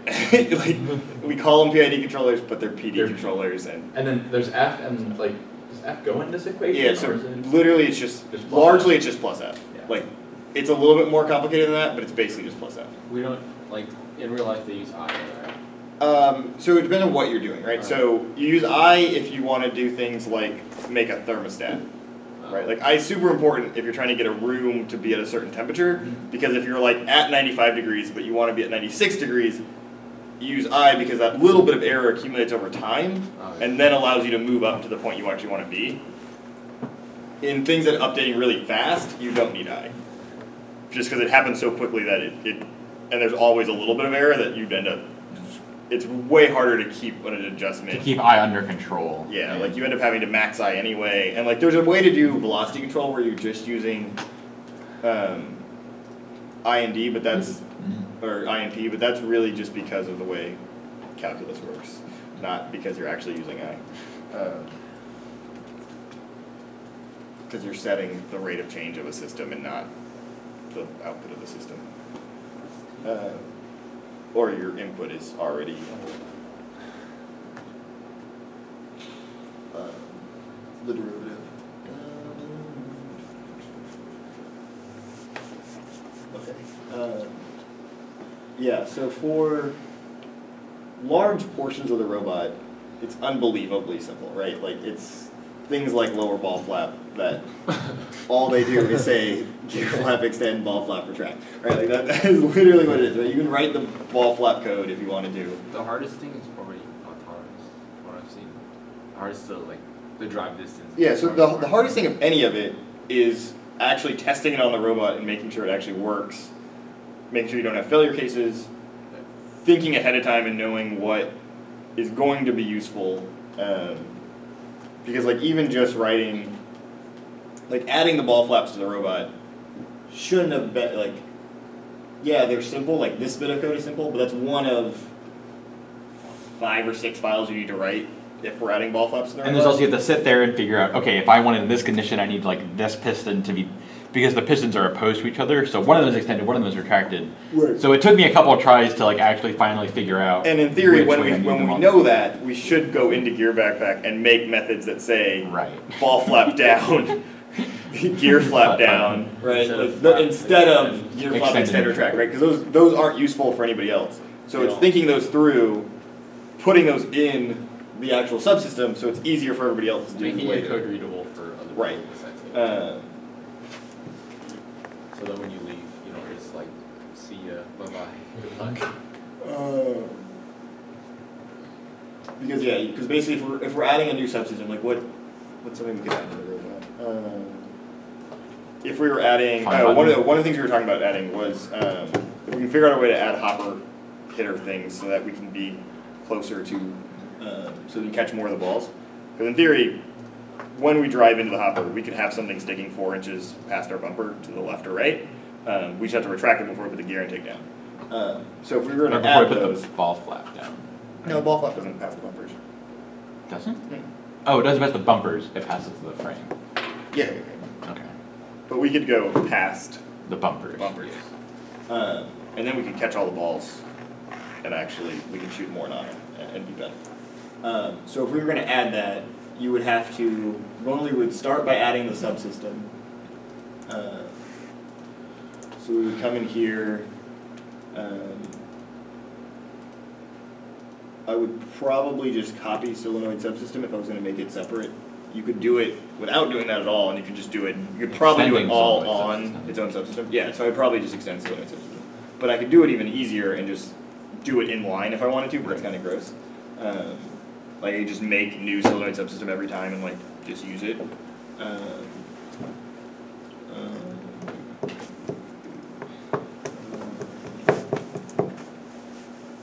but in here, if I wanted to do it, I can make um, hopper hopper hitter or something that. Um, It could be really fancy, or Spectrum thirty-eight forty-seven. hmm? You probably have to do the whole thing, right? Mm, The whole path for it. Oh, yeah, probably. It's not auto-completed, yeah, can I Oh, that's what you have to do. Okay. Uh, I was like saying, no, I just type it normally. So you just hit browse and then it comes up and does it. So now that's my super class already. Um, and then you can do inherited abstract methods, constructors. Um, so now I have a hopper hitter subsystem. It has all the things that the default solenoid one did. I don't need all of these. It's probably on a single solenoid actually, so you you can get rid of the. Right, so I could I can, I can basically just say, I know I'm gonna pass the spectrum to it, I'm just gonna force myself to do that. Um, what else would we need in the subsystem? So if this is a little pneumatic cylinder that like sits on the side of the robot somehow, it extends to be able to be just to the side of our robot so we can hit the little hopper trigger with it. That's all it does. So what are the methods we need? So, let's go back to, oh, let me open it. Oh yeah, so we can open up, we can open up solenoid subsystem, right, because that's the thing it's extending. Yeah. So in theory, we have an extend, retract, and is extend. That's basically all that's been given to us. Um, do we want to call it? Do we want to have other methods that say like? Um, I don't know what they would be, but they could be. Null and um, void, new name. um, what would we have it? We could have it be something that tells us that it's out or deployed, right? So we could have like deploy. Uh, should be fine, if I could actually type. Uh, and that could just call extend, that would be reasonable. It doesn't really matter, it'd just be renaming it. Except I can't spell. Extend. Um, deploy. we could have, retract already exists, but Why not? you could override it and call it self, um, that'd be weird, but retract already exists, You could have Take it back. deploy. Undeploy. Um, you could have undeploy, you could have return, you, you could have return, you could have whatever you want, right, it doesn't really matter. Um, and the other ones would still work too, so having extras isn't a big deal. Um,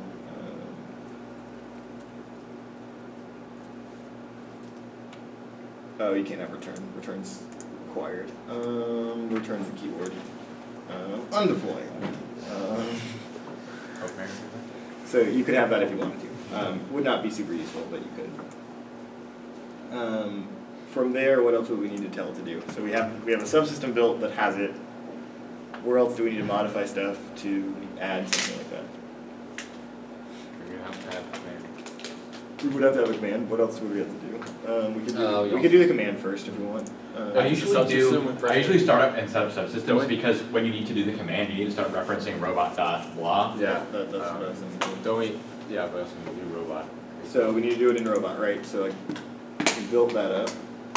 Uh, so we come down here, we We only do put it it down the at the rest of bottom, right? So we have a public, static, Hopper here. what is this, hopper hitter? It, What is this? it, I don't know, name it, Hopper hit. hop it. Hopper hit. It's clear, uh, we s- clearly have a, a convention. Uh, I think it's hopper hit with the hit being uppercase. Are I you think reading it's the hopper convention? hitter. Hopper hitter. It's just hopper hitter with a lowercase a. Yeah, lowercase. Oh, that's right. there is clearly a convention. Um, all right, so it's red because it's mad. It's like I, I don't know what this is. Um, that's because we have not necessarily. We have to save hopper hitter, and then we have to come in here and do click on this and do import hopper hitter, and it fixes our imports for us. So it comes up and adds a line Oh, up really here. does that? It comes up and adds a line. Oh, that's really nice. I'm done. Um, all of these things, are, every of the yellow dots are ones we're not using anymore, so we don't need those. We can get rid of them. Um, and then we'll just add them back if we end up needing them. Um, I'm pretty sure robot has preferences. Why is it not using preferences? Oh, because we have spectrum preferences. That's right. We made our own. Um, okay. Alright, so hopper hitter exists there. Where else does it need to get changed? Anybody remember? You know, we also need to create We need to actually like initialize it, right, in Yeah. sub, instead of subsystems? with all the other solenoids, preferably. Alright, so somewhere down here, um, we could put it in your backpack probably. Probably new shooter maybe, because before backpack and after shooter. Um, uh, Alright, so we have to pass it a spectrum solenoid, so we'd make a spectrum solenoid. So we have to do spectrum solenoid, which is a, uh, we never talked about drivers, that's one of the things we never really talked about. Um, Driver. Driver. What's a driver? Sure. Oh, all of our little. uh, Yeah, so like, there's certain hardware things that aren't like sub subsystems. They just tell us how we interact with hardware. Um, okay, so then what is this? So we have to make a new spectrum solenoid for it, right? We have hopper hitter solenoid. What goes inside that? Uh, we need to give it a name. Or, let's go back to hopper. Let's go back to hopper hitter. Yes, our, our solenoid, solenoid, spectrum solenoid. Okay, so spectrum solenoid or solenoid subsystem, right? So solenoid subsystem, it has, or even in hopper hitter, either way. So we know we have to pass it a spectrum solenoid and a sh- and a name. So then how do we make, so we're making a spectrum solenoid. So spectrum So- solenoids need, what, they need a port need a- number. Yeah. So we need a port number. So we need to go to hardware. Yeah. make a new port number. There we go, so we go into hardware. And we not necessarily make a new port number, we just have to tell it where it is, right? So we have pneumatics here, we have zero through seven. We'll take gear spear. Uh, yeah, we probably take gear spear. So instead of having gear spear, we would have hop. hopper hitter or something like that. Okay. Uh, so then inside robot, we would do hardware dot, Hopper. and it comes up, so it auto completes for us. We hopper so I'm so I'm gonna type it. All right. Uh, And then it's not. and it's not happy probably because I can't. Oh, because I forgot to give it a name. Um, because oh, but I don't need to do that. So actually, what we should have done is inside hopper hitter, get rid of name. And And pass on hopper. Um, actually, no, this is actually reasonable. So there is a reason why we keep name, which is we'd want this to be. We'd probably end up needing two because there's a left and a right. So this would be like hopper left. Um, but it's still mad. I'm not entirely sure why. Probably because I can't spell for some reason. Um, I just don't see what the problem is. So I'm just gonna use- Mm. String int is undefined. Oh, because I didn't. Now I'm confused. Oh, because I'm being ridiculous. We're not into hopper here yet. Okay. This is spectrum solenoid. This is all correct. Then we do. Um, uh, yeah, yeah, yeah. That's how that works. What button did I just hit? Why are you mad at me? But let's see. Okay, no, I think we're good. Alright, I don't know what that was, that was weird. Um, okay, hopper hitter equals new. Hopper hitter. This is where we need the names, this is gonna be like hopper left. This is hopper hitter sol, which is the solenoid. Alright, so now we have, yeah, so we set up the subsystem, we put it in hardware. We have it in setup subsystems, And now we need to put it. all that exists. So now we have no way to, Doing. it exists now, but we have no way to do anything with it, so now we need some command, right? So make a new command. Um, Hit hop. So new class, which would be like deploy hopper hitter. Uh,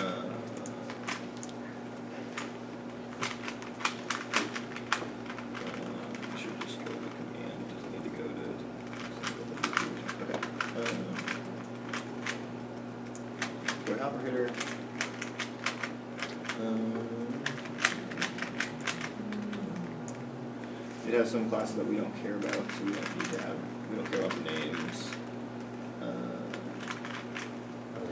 So. Probably don't care about the timeout either on this, cause it doesn't really matter, so we probably just have that. Um, example command has the stuff we need in it, which is why we keep it around, we're gonna copy it all. Deploy hopper here. It's three, it's super. Thank you. Okay. Uh, so that's all there. Okay, so what goes where in here? So this is our command. What do we need it to actually do? It needs to hit hopper. So it needs to extend and it needs to. Okay, where does it do what? We're gonna. It's gonna extend at the initialize. Alright. And what is, what do we say? Um, deploy. Do we set as deploy or? Yeah. we did. Sure. Come on, guys, help me. Help me out. What are we acting on here? Like what, what, what do we type first? First first. Whoa. What, what do we just, we set up the subsystem, right? Yeah, we said this is. Okay, So. so how do we access that sub to the system we just set up? Well, first we gotta import this. Um, Well, yeah, that comes along with, um, yeah, like it'll do it by itself, Yeah. as we're typing right now. well, we're gonna need to, when it initializes, we're gonna want it to extend. Right, so how, but how do we tell it to extend? Uh, zoo hop, so zoo hopper here. But where's the hopper here that we're calling? It's, is the extend method? It's in robot, right? Oh, so Robot. robot does. Yeah, you have to do robot, because you have to tell, you have to get the instance of the operator, right? So it's robot dot H, and then we have it. And then we can use the autocomplete to tell us what it is, It's deploy. deploy, right? Alright, so now we have robot dot hopper hitter dot deploy. Um, does execute need to do anything? No, because we only wanna run it once. Okay, so then, is, does is finish need to do anything? Yeah. Yes, it needs to do something. What does this finish? So first it needs to check with the gear on the deployed, so it would, would us, right? Oh, that's an interesting case. It's more advanced than I was planning to do, but. Yeah, you would check if the gear is deployed and when it's deployed execute is true, right? The gear? He's talking about the gear, Yeah. Oh, oh, because no, they when can't, the- they oh, can't no, no. interfere with each other. Oh, uh, when the, when the hopper is. Cause when your hopper hitter hits, it's when it's fully deployed, it would hit, and then you deploy it, you finish, and it would return true, and then it would run end, which would return. Um, probably not, we would tell it when to retract ourselves, Oh, Okay, because we don't know that it actually actually did anything. okay. Um, you have no feedback on that, right? The idea of having it retract if the gear arm gets extended is interesting, that gets really tricky. Um, it's a problem, there's a lot of failure cases of that. Hold on, wait, why not, couldn't you just like do all of this in drive to, hu- drive to wall? And just have it extend at the start of drive to wall? and then- Yeah, yeah, yeah, no, no, I'm talking about like, because in theory they shouldn't be out at the same time as the gear arm because it's illegal, like you break sizing. That's what, that's what I thought he was talking about. I would, again, I wouldn't write this. He, he brought it up and I was like, could you? Maybe. I wouldn't, cause it's just more complicated than it needs to be. Um, something wrong. Yeah, it's possible. I wouldn't. I would leave it is false and then we would just manually bring it back. Okay. End is, um, robot dot hopper hitter dot retract. Retract. Either retract or undeploy. whatever. Undeploy. Um, Interrupted interrupt. and DOD, end. Alright, and then interrupted has to be end, right? Okay, so now we have a command, Now we gotta go into align. um, You have to, or I could not spell something right apparently.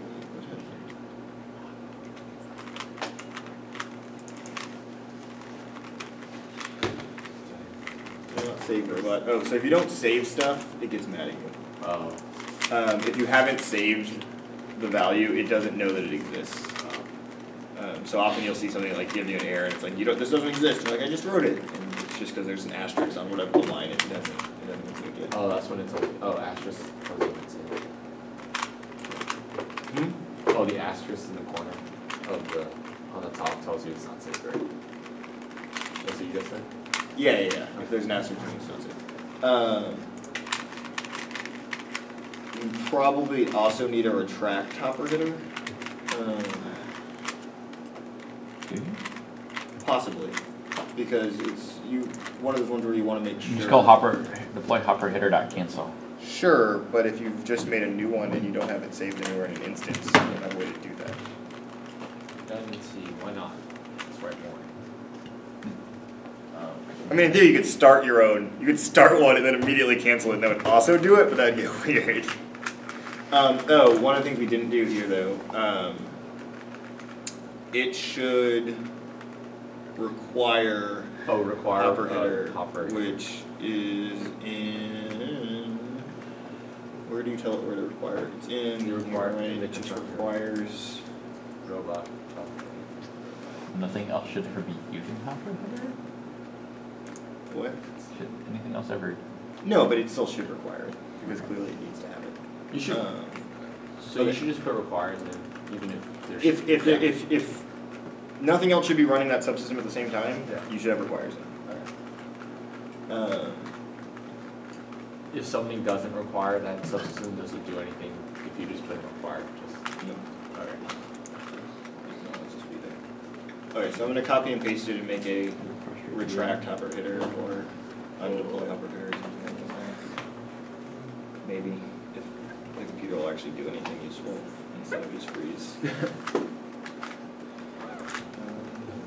Um, Time to get the, the LSPS system to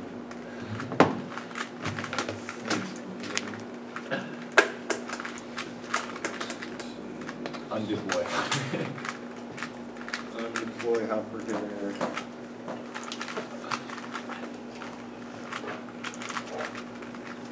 And now the, yeah, and this probably ends without anything, because we don't need it, we don't want it to deploy, that'd be weird. Um, this one is un, is just true. Right, so like, as, as soon as you call undeploy, They're just it completely. ends it, yeah, it, it pulls it back, it finishes, and then hopper hitter can call itself again if it wants to, whatever, if you needed to use it. You may never need it, it can just sit there and be an unused command. Okay, so then, if we wanted to call it, we would have it at, um, it would go inside the command group somewhere, so we'd have it in an autonomous command somewhere, probably in hopper only. Right, so we have, uh, hopper auto, we would probably have it come out at the same time we'd lower the ball flaps